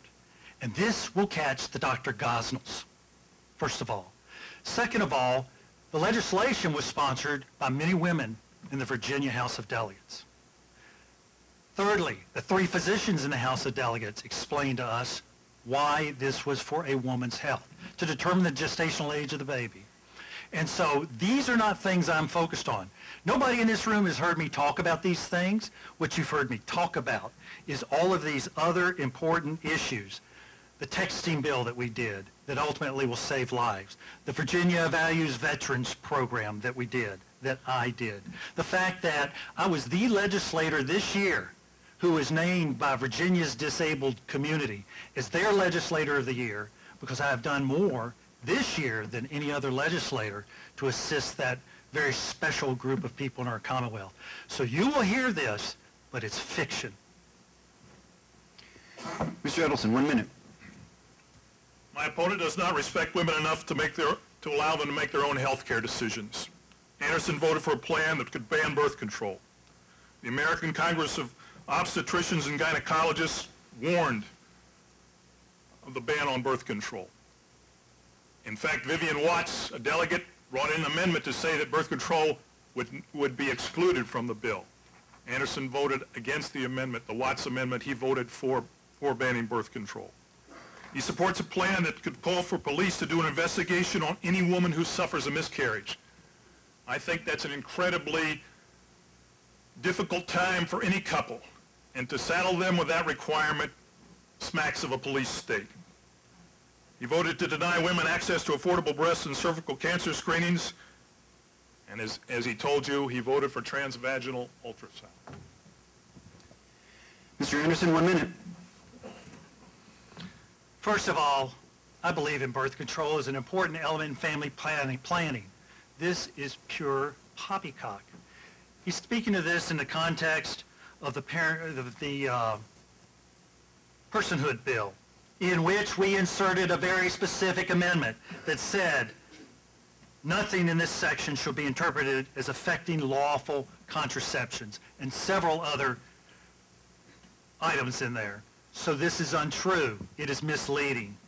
Actually, I hate to use this word, but it's a lie. Anyone out there who repeats it. And so that's where I am there. I do respect women. This is untrue. Our next topic that we'll go to, environment and energy. Delegate Anderson, you'll go first here. Are there any energy sources in Virginia that, that should be foregone? Are, are there any energy sources Virginia, Virginia should forego? That is a very good question. I'll come back and just touch on what Delegate Lingamfelter had to say. And that is, um, we have an energy challenge in this country. I know this as a former military officer, and that is our dependence on foreign sources of energy. we're vulnerable in that regard. I recall back in 1976, 77, if you'll recall, President Carter focused on this very heavily. We have not solved that yet. I'm in favor of all of the above energy technology. It is too premature to stamp out the use of coal and oil, carbon fuels. It is way too premature. This attempt to move into alternative energy, which I agree with, has to be done cautiously.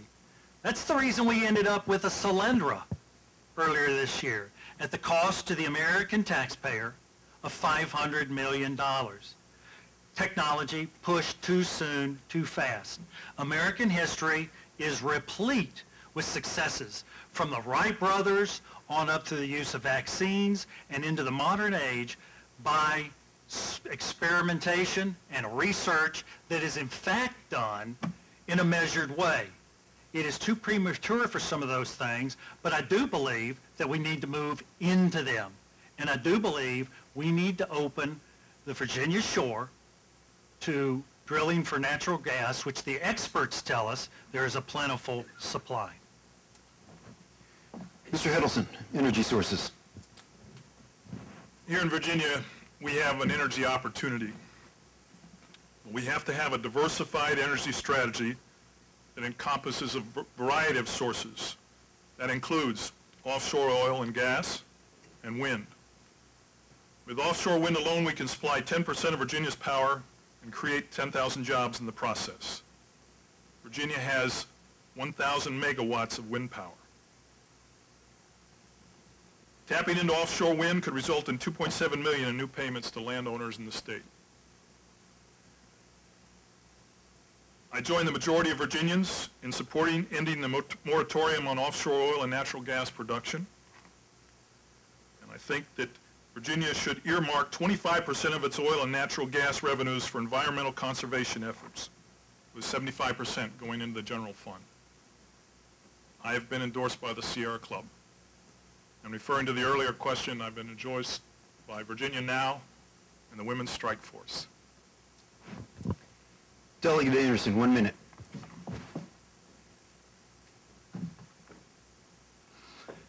I think that uh, wind energy off the Virginia coast does in fact offer some opportunities. I have voted to do some state-level investments in wind energy experimentation. I think that um, these opportunities for all of the above energy sources is good for Virginia. Governor McDonnell has said he wants to make Virginia the energy capital of the East Coast. Across the board, we have plentiful energy supplies, and we've got to tap them rather than have our initiatives inhibited by the federal government. And I think that'll do it.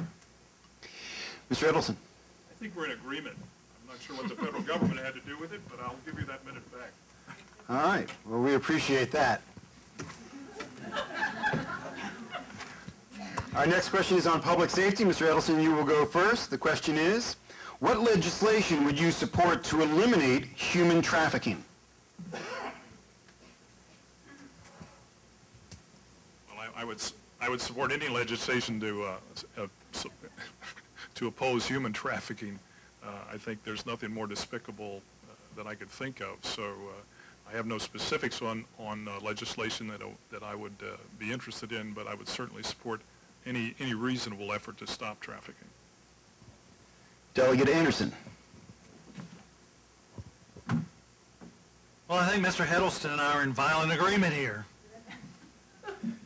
I think that the most egregious ill that one person could visit on another person is this sort of thing such as human trafficking. This year in the General Assembly, I was proud of some of the legislation we passed to combat that. I didn't carry it. I voted for it.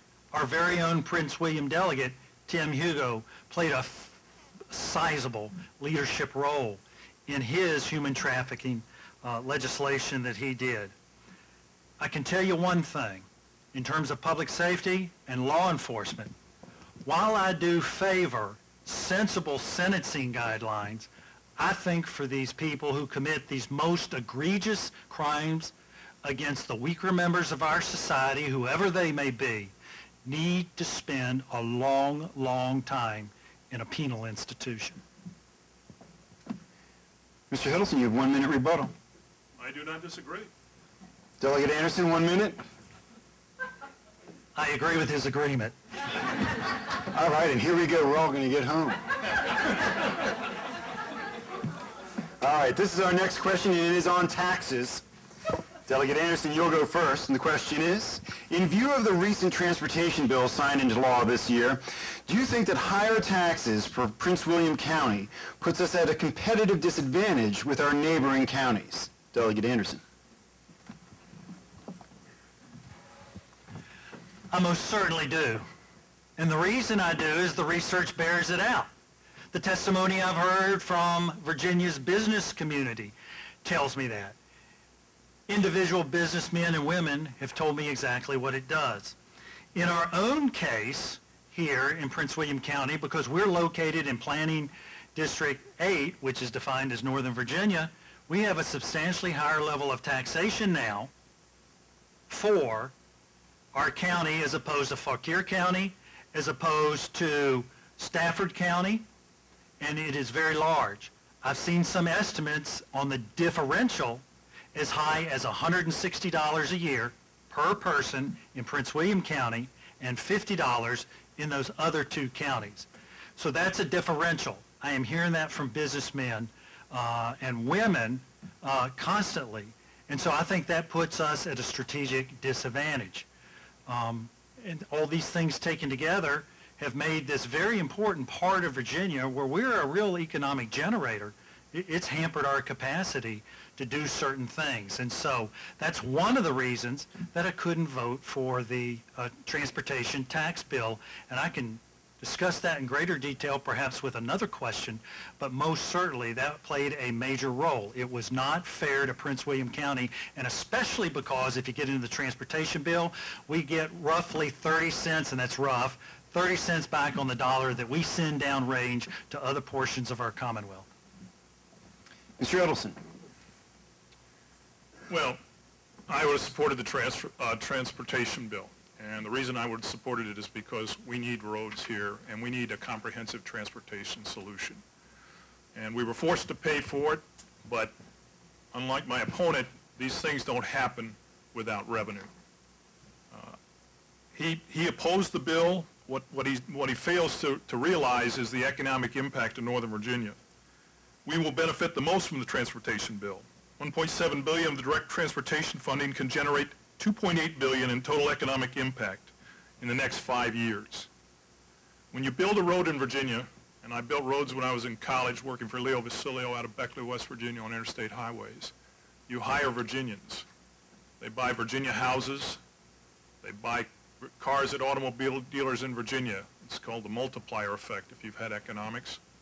That's the impact we will gain, and I believe that it is worth the revenue that we will put forward because unless we embark on a comprehensive transportation plan, we're never going to get there. We need to look at Metro in Prince William County. Four years ago, my opponent said it's too far in the future. Four years have passed. Nothing has been done.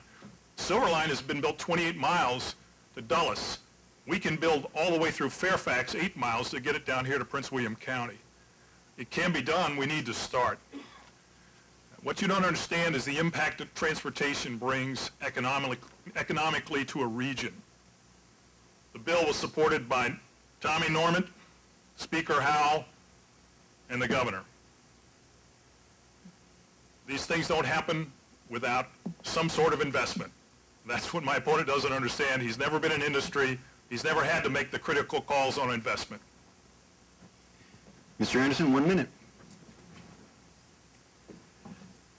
I still stand by my vote for the most massive tax increase in Virginia history, the largest tax increase since the settlers landed at Jamestown four centuries ago. I will not be a part of a tax increase like that. It was regressive. It rides on the backs of the poor. There have been detailed studies done. There were other methodologies. I agree we need more, more uh, revenues for transportation. And I put this bill in I presented it at the Transportation, or rather the House Finance Committee, to move it through. It did such things as remove the food tax, a very progressive bill that did not ride on the backs of poor people, and still raised a considerable amount of revenue, and was scored by the Virginia Department of Taxation as a small tax decrease. And so there are other methodologies, not this bill that started out as a transportation bill and became a monstrous tax increase. I don't have enough time to explain inflation to a political science major, but I can tell you that there'll be $2.8 billion in positive impact in Northern Virginia. There'll be 60,000 jobs, 10,000 per year for the six years of the bill. If you want to create jobs, you have, you have to spend money as a government. It just doesn't happen any other way. This massive tax increase was a Republican bill. It was, it was actually a bipartisan bill led by the Republicans. We were out of money for highways. If you want to get in your car, drive south of Richmond on 95 to 85, and you will see an interstate highway system that is crumbling away. And then you cross into North Carolina and you have a six-lane brand-new interstate from Raleigh all the way to Charlotte. I grew up in West Virginia. I never thought I'd see the day when West Virginia had better interstate highway systems than Virginia. Our next question is on education, and uh, Mr. Heddleston, you will go first. Do you support tax relief or some, any type of tax support for private, homeschooled, or charter school students? This is a topic where we're really beginning to fall behind and we're facing a crisis in the district. As I said, I will fight to turn around Prince William County Public Schools. We have the highest class sizes in the state. We have the lowest, second lowest teacher pay in the region. And I don't care how many graduations or SOL testing sessions my opponent goes to, that doesn't provide resources to schools to address our problems. We're the seventh wealthiest state in the nation, but ranked 35th in our elementary uh, and, and secondary school spending. We spend 11.4% less per student today than we did in 2008. The teachers that are sitting in this room will tell you we are in crisis as far as secondary education. We need to raise our teacher pay to the national average. We need to reduce non-instruction workloads for our educators, and we need to reform standards of learning. I do not support taking public money and allowing it to be sent in private religious secondary schools. That's your right. You have that right. But I believe that Jefferson said, a democracy demands an educated electorate, and we do that through our public schools, where children will meet the peer group that they're going to compete with and work with for the rest of their lives. Mr. Anderson? Absolutely. I'm going to have to find it, of course. Uh, it was basically about whether or not you supported any kind of tax relief or tax support for homeschool or charter schools. Okay. Like energy, I'm a supporter of all the above forms of education. I am for introducing competition into the educational arena. I think we have to take special care of public education because the founders intended that. But also, we have other options for parents. I am in, I am for parental choice, homeschooling, charter schools, all sorts of educational opportunities for kids. I voted to increase pay for teachers this year, the first state pay raise in four years. And I'll tell you what it did. It took Virginia's teachers up to the national average for teacher pay. That's not good enough. It ought to be higher, but that's what it did this year. That's something neither the Kaine administration nor the Warner administration were able to do. But working together and across party lines in Richmond, we were in fact able to do that. In fact, today we're spending more on K-12 than during the Kaine administration. We have recovered that.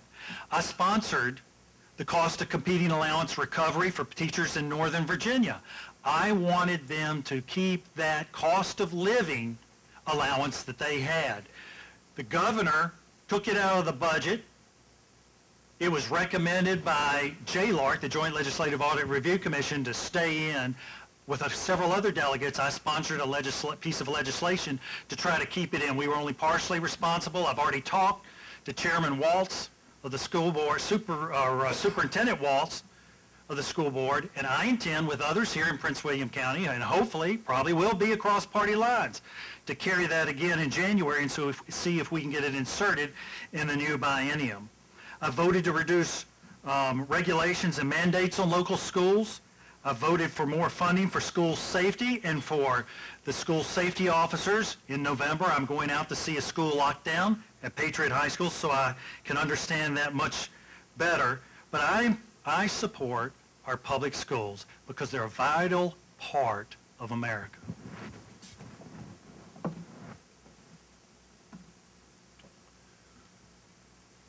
At a time when our college students are facing mountains of debt, my opponent cut 8.4 million from grants and scholarships for Virginia college students. My opponent has voted to cut 620 million from K through 12 public schools. The pay raise that he touts, he needs to talk to teachers. I've knocked on thousands of doors in this county too, and I'm getting a different story. And what teachers, teachers tell me is they looked to see what their paycheck was going to be this year with the 2% raise. They added more hours to their teacher's contract. They increased their contribution to their uh, uh, uh, retirement fund, and they received less take-home pay in their paycheck. I will tell you, if I treated employees like that at SEIC, I would be out of business.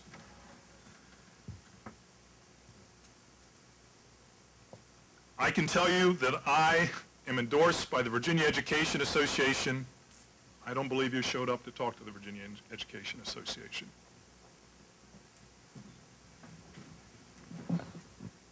Thank you.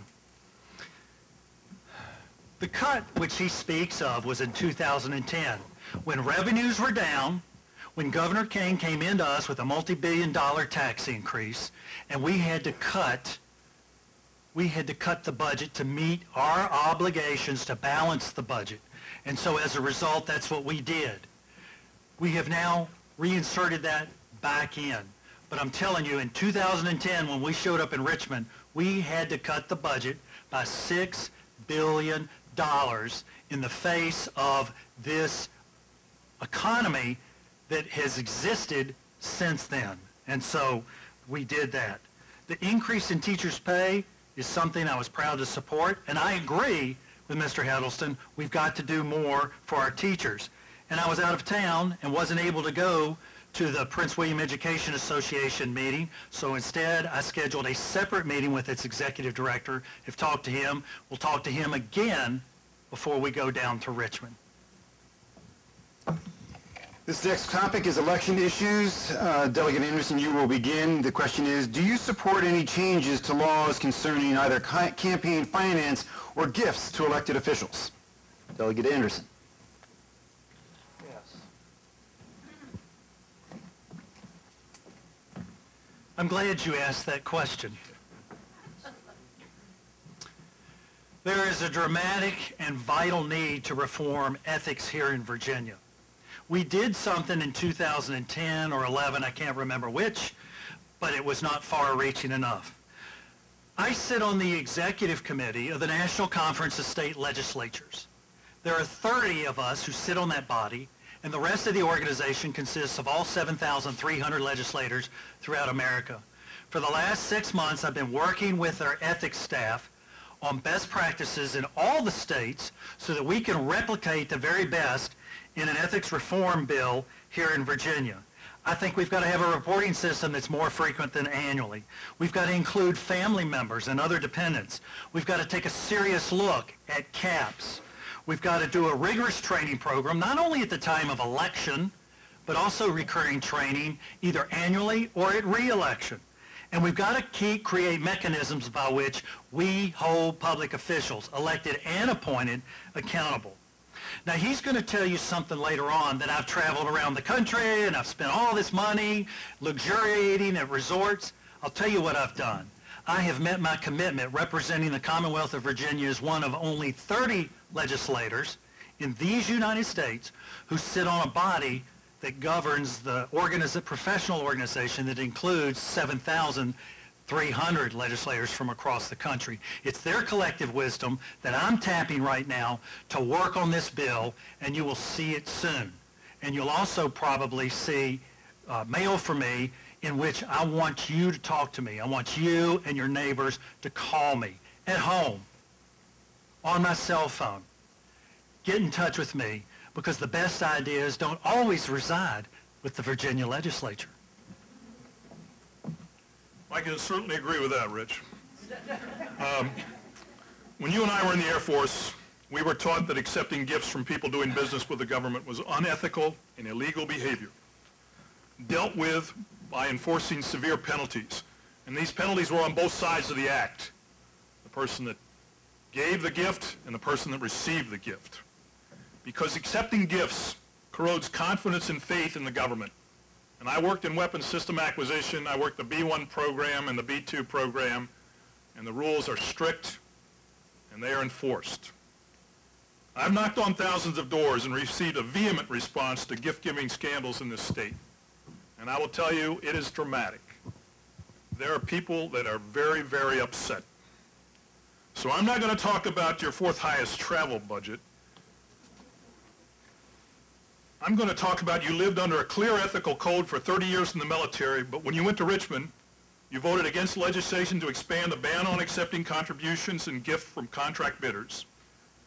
You voted to make it more difficult to investigate corrupt politicians. My favorite is you did the get out of jail free card that if somebody was being investigated for prosecution, a legislature can say, I resign and the charges are dropped. You accepted thousands of dollars of gifts, including $655 to attend a football game. Rich, if you want to see a football game, buy a ticket. You do not have the right or privilege to do that because you sit in the legislature. We go to Richmond to serve this district. And I will tell you, gifts are corrosive. They are nothing but legalized graft and corruption. And the, the comment earlier that I reported those, well, guess what happens if you don't report them? Nothing. It's the Steve Martin defense by Cuccinelli. I forgot. I forgot. I thought it was only seven, not $18,000. Ladies and gentlemen, I've had a lot of Thanksgiving dinners in my lifetime. Mostly they've got that damn green bean casserole with the, the French fried onions on top and the mushroom soup. Time. If I ever had a $1,500 Thanksgiving dinner, I would never forget it. I would, I would know that for the rest of my, that'd be the last thing before I died, I remember. Mr. Anderson. Thank you. He may have been to thousands of doors. I've been to tens of thousands of doors and tens and tens over the last four years, and I've been this year. In fact, what I hear at the doors, besides the concern of people for these issues, is they haven't seen him at their doors. He has not been at the doors with the same energy and vigor and devotion that myself, Ruth, our campaign team has been. I will say this, simply. I'm going to put a bill in for this because I got trapped into something that I didn't care for, and that is that Ruth and I went to a Virginia Tech versus Idaho State, I think it was, game. And we were notified by the sponsoring organization that it was worth $600. So on my form, I did two things. Number one, I put down both of us, even though she was not required to be reported, and I told the folks at Dominion Power, I would not be going back to any of those. They were, I believe, three years ago. And so that's my take on this. Anyone here who knows me knows that ethics is central to the way I've always operated. Our next question has to do with transportation. Where do you stand on the proposed Bi-County Parkway that will cut through parts of the Manassas battlefield and lead to more truck traffic coming down Route 234 through the eastern part of the county and close Route 234 through the park? Mr. Heddleston, you begin.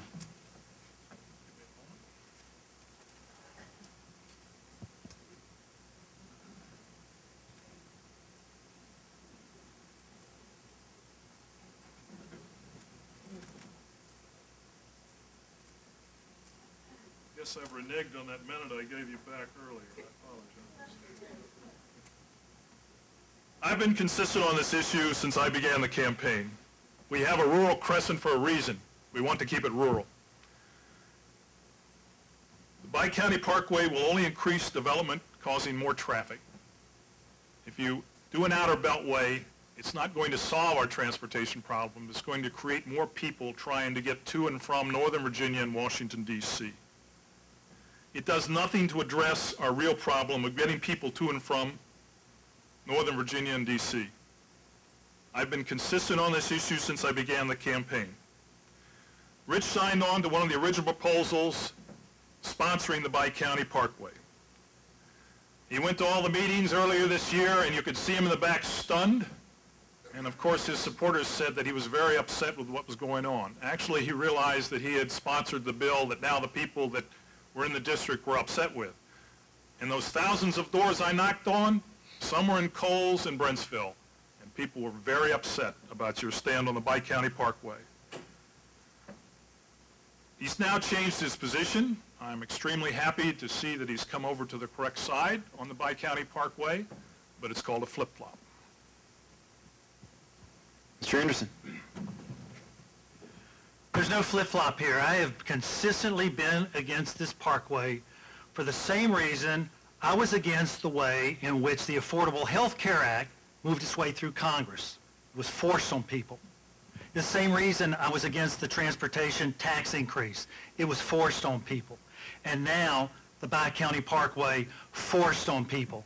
Government on both sides of the aisle has now decided that they know what's best for the citizens of this great republic and for this commonwealth. And so I have stood consistent. Marianne Gadban, who has led a, one, a, a small nucleus of people who have planned this, she's here tonight. She's been part of my education.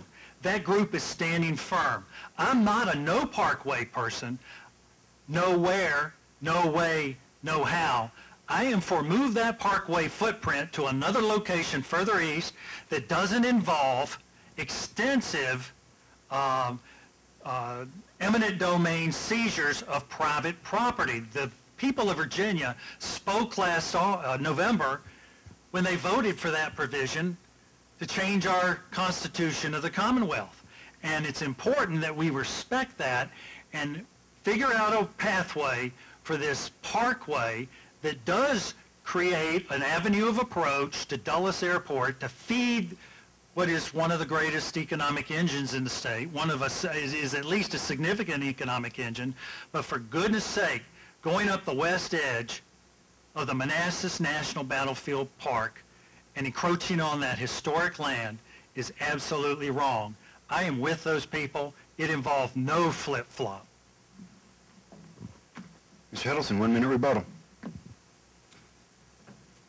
Well, I don't know what to say. You signed one of the original proposals for it uh, over two years ago. Uh, you you were a supporter of it, and, and you called a press conference to announce your change in position. So uh, I, I guess I don't understand what it means to be a politician, to change your stand, and then explain it didn't happen. But I'm going to work on that, folks. Mr. Anderson. Well, first of all, I've never been at a press conference. My introduction to the uh, Bi-County Parkway issue was when I came back in late February, there was an, from the General Assembly session, there was an early March meeting out in the Haymarket area at a middle school. I attended that. I didn't understand the issue. I attended that and I did what I'm supposed to do as a legislator. I learned about the concerns in the community over this parkway. And in turn, I took the next steps, which was to sit down first with uh, those who favor or those who are working to move the, the Bi-County Parkway uh, folks who are concerned about it being uh, in that location. And then I also went out and walked the battlefield so I could see where roads would be constructed, roads would be closed, and I did that with Ed Clark, the superintendent of the Manassas National Battlefield Park. I believe in doing that, listening to both sides. And so I haven't been to a press conference because quite frankly, I spend my time less at press conferences and more in the living rooms of my constituents. All right, this will be our final question before we go to uh, closing statements. And this will go to Delegate Anderson first. And it is, uh, should the Commonwealth of Virginia replace the standards of learning with Common Core? Delegate Anderson.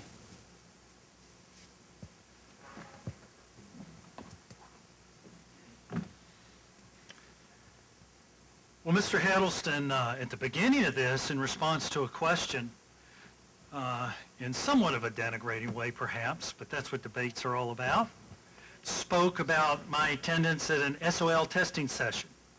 David Huckstein, who's one of the half dozen great high school principals I've come to know over the last four years, asked me to come to Woodbridge Senior High School and to see how the Vikings there engaged in SOL testing.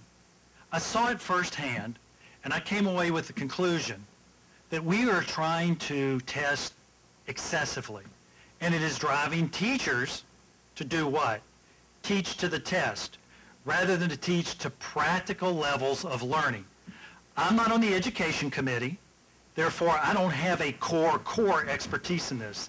That's why over the last four years, and you can ask just about any principal in the old or the new 51st District, hardly a week would go by that I was not in their school immersed in some subject matter in order to understand what they were doing.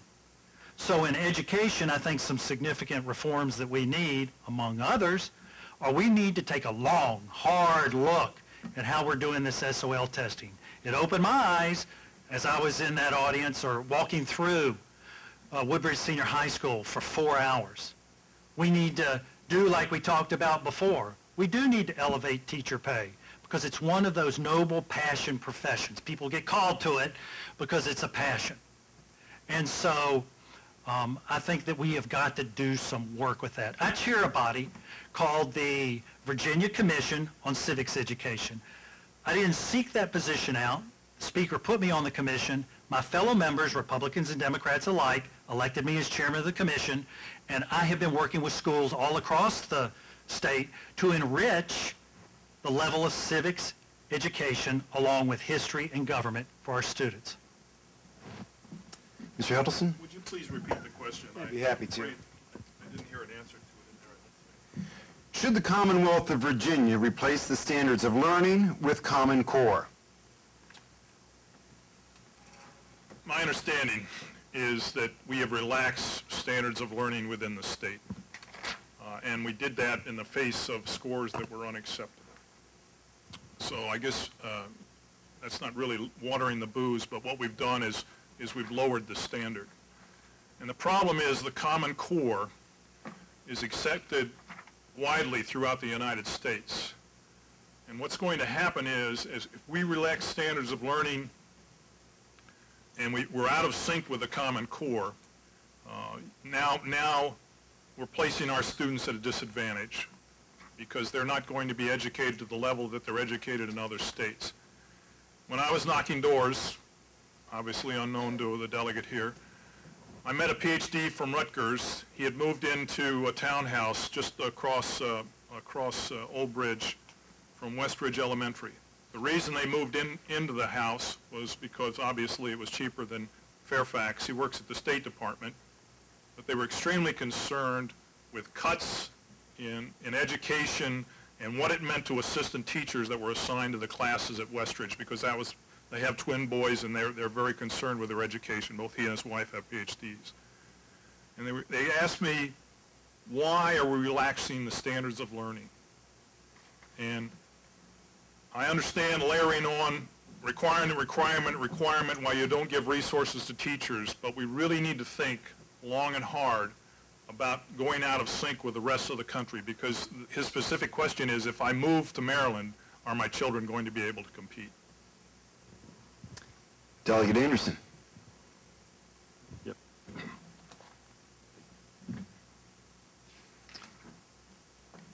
I'm concerned about this whole concept of Common Core because it's a nationally levied requirement on schools. It's an, it's an imposition and an intervention in public schools by the National Department of Education, the Federal Department of Education, when those decisions are best made either at the state level, marginally, but best made at the local level by school divisions. That's why I've almost always voted to try to move decision-making authority down to school boards and to school divisions. That's very important. In fact, um, standards of learning were not relaxed. Standards of learning were recently uh, elevated to a higher level of performance, and as a result, we had math scores, I can't remember which it was, but math and English scores, one went up and one went down. I can't recall. Perhaps an educator here in the audience can enlighten me afterwards. But nonetheless, Common Core is not good for the Commonwealth of Virginia and its students.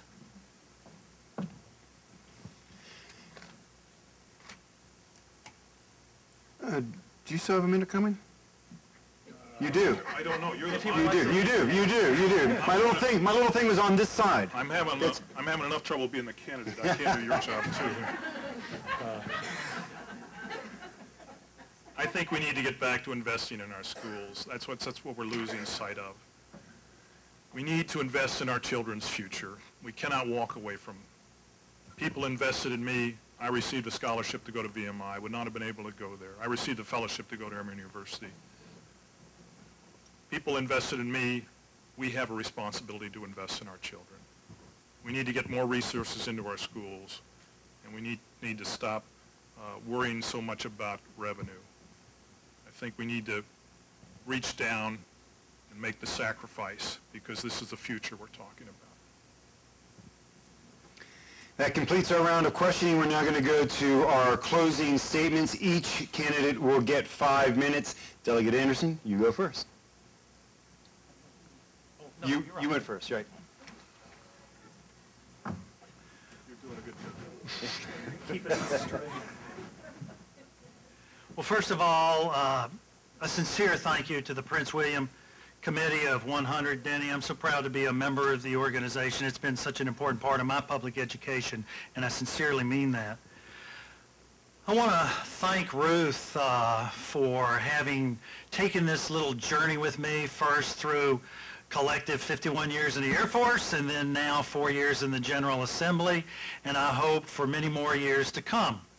If I could uh, pick who I would like to model, when I grow up in this business, I would like to be either Supervisor John Jenkins or Senator Chuck Colgan. Long and distinguished service to our Commonwealth. And I'd like to thank uh, Colonel Heddleston for going on this journey with me. I don't call him my opponent, he's my running mate, because we're running in a lot of the same places, let me tell you. He's not my enemy. He's not my opponent. He's simply my competitor in a whole business model. He has a model, I have a model. Over the last four years, and especially since March returning home from the General Assembly, I have knocked on tens of thousands of doors. It's my stock and trade. It's the way I do business. I've knocked on your door. I have knocked on your door. I've knocked on your door. And looking in the back of the room, I see three or four folks whose doors I've knocked on. I will go any door, anywhere, anytime to talk to anyone. I've listened and learned over the last four years, and I think I know what the men and women and, and families of Prince William County are thinking. And so now I'm ready to go back to work come January. I served my country for 30 years. I've served the Commonwealth for four, and I would like to serve it again for at least another two. The last four years, I've been able to chair the General Assembly Military and Veterans Caucus and move literally dozens of pro-military, pro-veteran, pro-work, pro-Virginia pieces of legislation through the Assembly that affect in positive ways the lives of 830,000 of our fellow Virginians who have worn the cloth of our country. I want to continue to do that. In jobs, said it before, lowest unemployment, one of the lowest unemployment rates in the country, and therefore we are the best state in the nation in which to do business. I was proud to carry the Virginia Values Veterans Bill across party lines with Senator Toddy Puller and to move that through both houses and onto Governor McDonnell's desk for signature. Today, 3,500 more veterans have jobs because of that. I was proud to carry in a bipartisan way a bill with Senator George Barker. He's my senator. I live in the 39th Senatorial District. And we were able to carry a texting bill across uh, the General Assembly and to Governor McDonnell's desk for signature. The idea came from citizens. Paula Johnson, right here. Wave your hand, Paula. Paula's here. I'll tell you who Paula is. She lives here in Prince William County. She has two sisters that live here in Lake Ridge, I believe. Paula came to me about a year ago, a year and a half ago, and told me about her brother, Fred Paratelli, whose life was taken by an irresponsible texting driver. That put a human face on a piece of legislation. I carried it. Senator Barker carried it. We did it in a bipartisan way, and we carried it across the finish line with a lot of help from our colleagues in the House and Senate. 43 people, 43 delegates, both parties joined my bill as co-sponsors. And it put teeth into the bill and gave tools to those who are sworn and to protect the rest of us, law enforcement. We've kept taxes low. We spent money on education. We have education that is very good by the measure of any yardstick. I spent a heck of a lot of time in Virginia's classrooms here in Prince William County.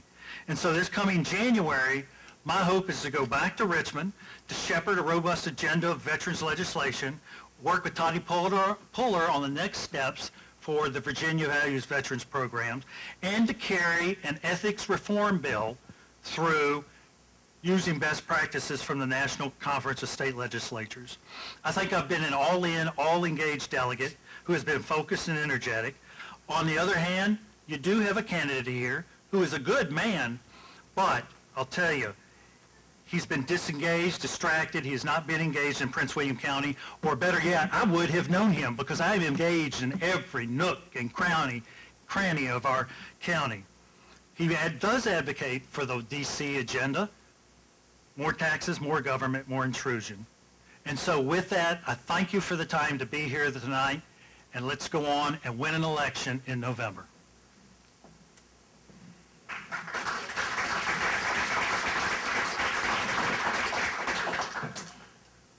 I'd like to thank my wife of uh, 40 years for uh, giving me a, a great family uh, that we did here in Virginia. She has followed me all over the world. Um, She's been, uh, she's set up camp uh, on two continents at least. Uh, We have three children, wonderful children, and they're off on their own now, and I'm very proud of them. My grandfather was a school teacher. My mother was a school teacher. My wife taught nursing at George Mason, and she works with the free clinic now. My son-in-law teaches at Austin High, and my son is a college professor in Alamosa, Colorado. Ladies and gentlemen, I don't support educators. I love them. I think we need to get back to investing in our future. I think we need to realize that we have responsibilities to our children. There are decisions that we can make. My opponent says that I'm disengaged. I spent 14 years working in industry. I made my numbers for 14 straight years. I made very tough calls. I had to, I had to pay people what they were worth, and I had to supply them with plant and equipment. I had to make very difficult trade-offs. It's called the world of business. And I lived in that for 14 years. And I can make those tough choices when I go to Richmond. And because I understand business, I know what we need to do if we're going to help business grow. One of my supporters is a guy named Kiho Kang. And Kiho Kang is Korean. He's the son of Korean immigrants. So be mindful when you decide you're going to strike out against immigrants. Kiho worked in the Air Force with me, and he started his own business. It was an 8A firm. That means he paid a 30% tax rate. And Kiho had the courage to take what was a SETA form, a SETA company, which means you have, you're selling heads, you're, you're, you're selling uh, consultants. But he wanted to build a manufacturing firm. And he did it on his own nickel. He literally set, set aside $3 million to start buying manufacturing equipment. And now that's a $20 million firm that does light manufacturing. And it's the kind of firm that we need and we want in this county. And Kiho had to do it on his own nickel. And that's wrong. And that's the kind of people we should give tax cuts to. The kind of tax cuts we should give are for investment in plant and equipment and capacity, and for people who have the courage to take the risk. If I didn't pay my, my, my uh, employees, they walked across the street to SAIC. That's the kind of decisions you have to make, and that's what we refuse to make in government now. I believe we really have to reform ethics. And I pledge to you that when I go to Richmond, I will accept no gifts. No gifts for me, no gifts for my family, no gifts for my wife, no gifts for my extended family. Because those are the rules that I lived under when I was in the Air Force, and I haven't forgotten them. And when you start accepting gifts, as we've seen in this state, it's corrosive. It's nothing but legalized graft and corruption. And we need to put an end to that. People should not go into politics to become wealthy. People should go into politics and serve. I believe that, and that's what I plan to do when I get to Richmond. I need your vote in November. We need to turn this ship around. Thank you very much. Ladies and gentlemen, your candidates for the 51st District.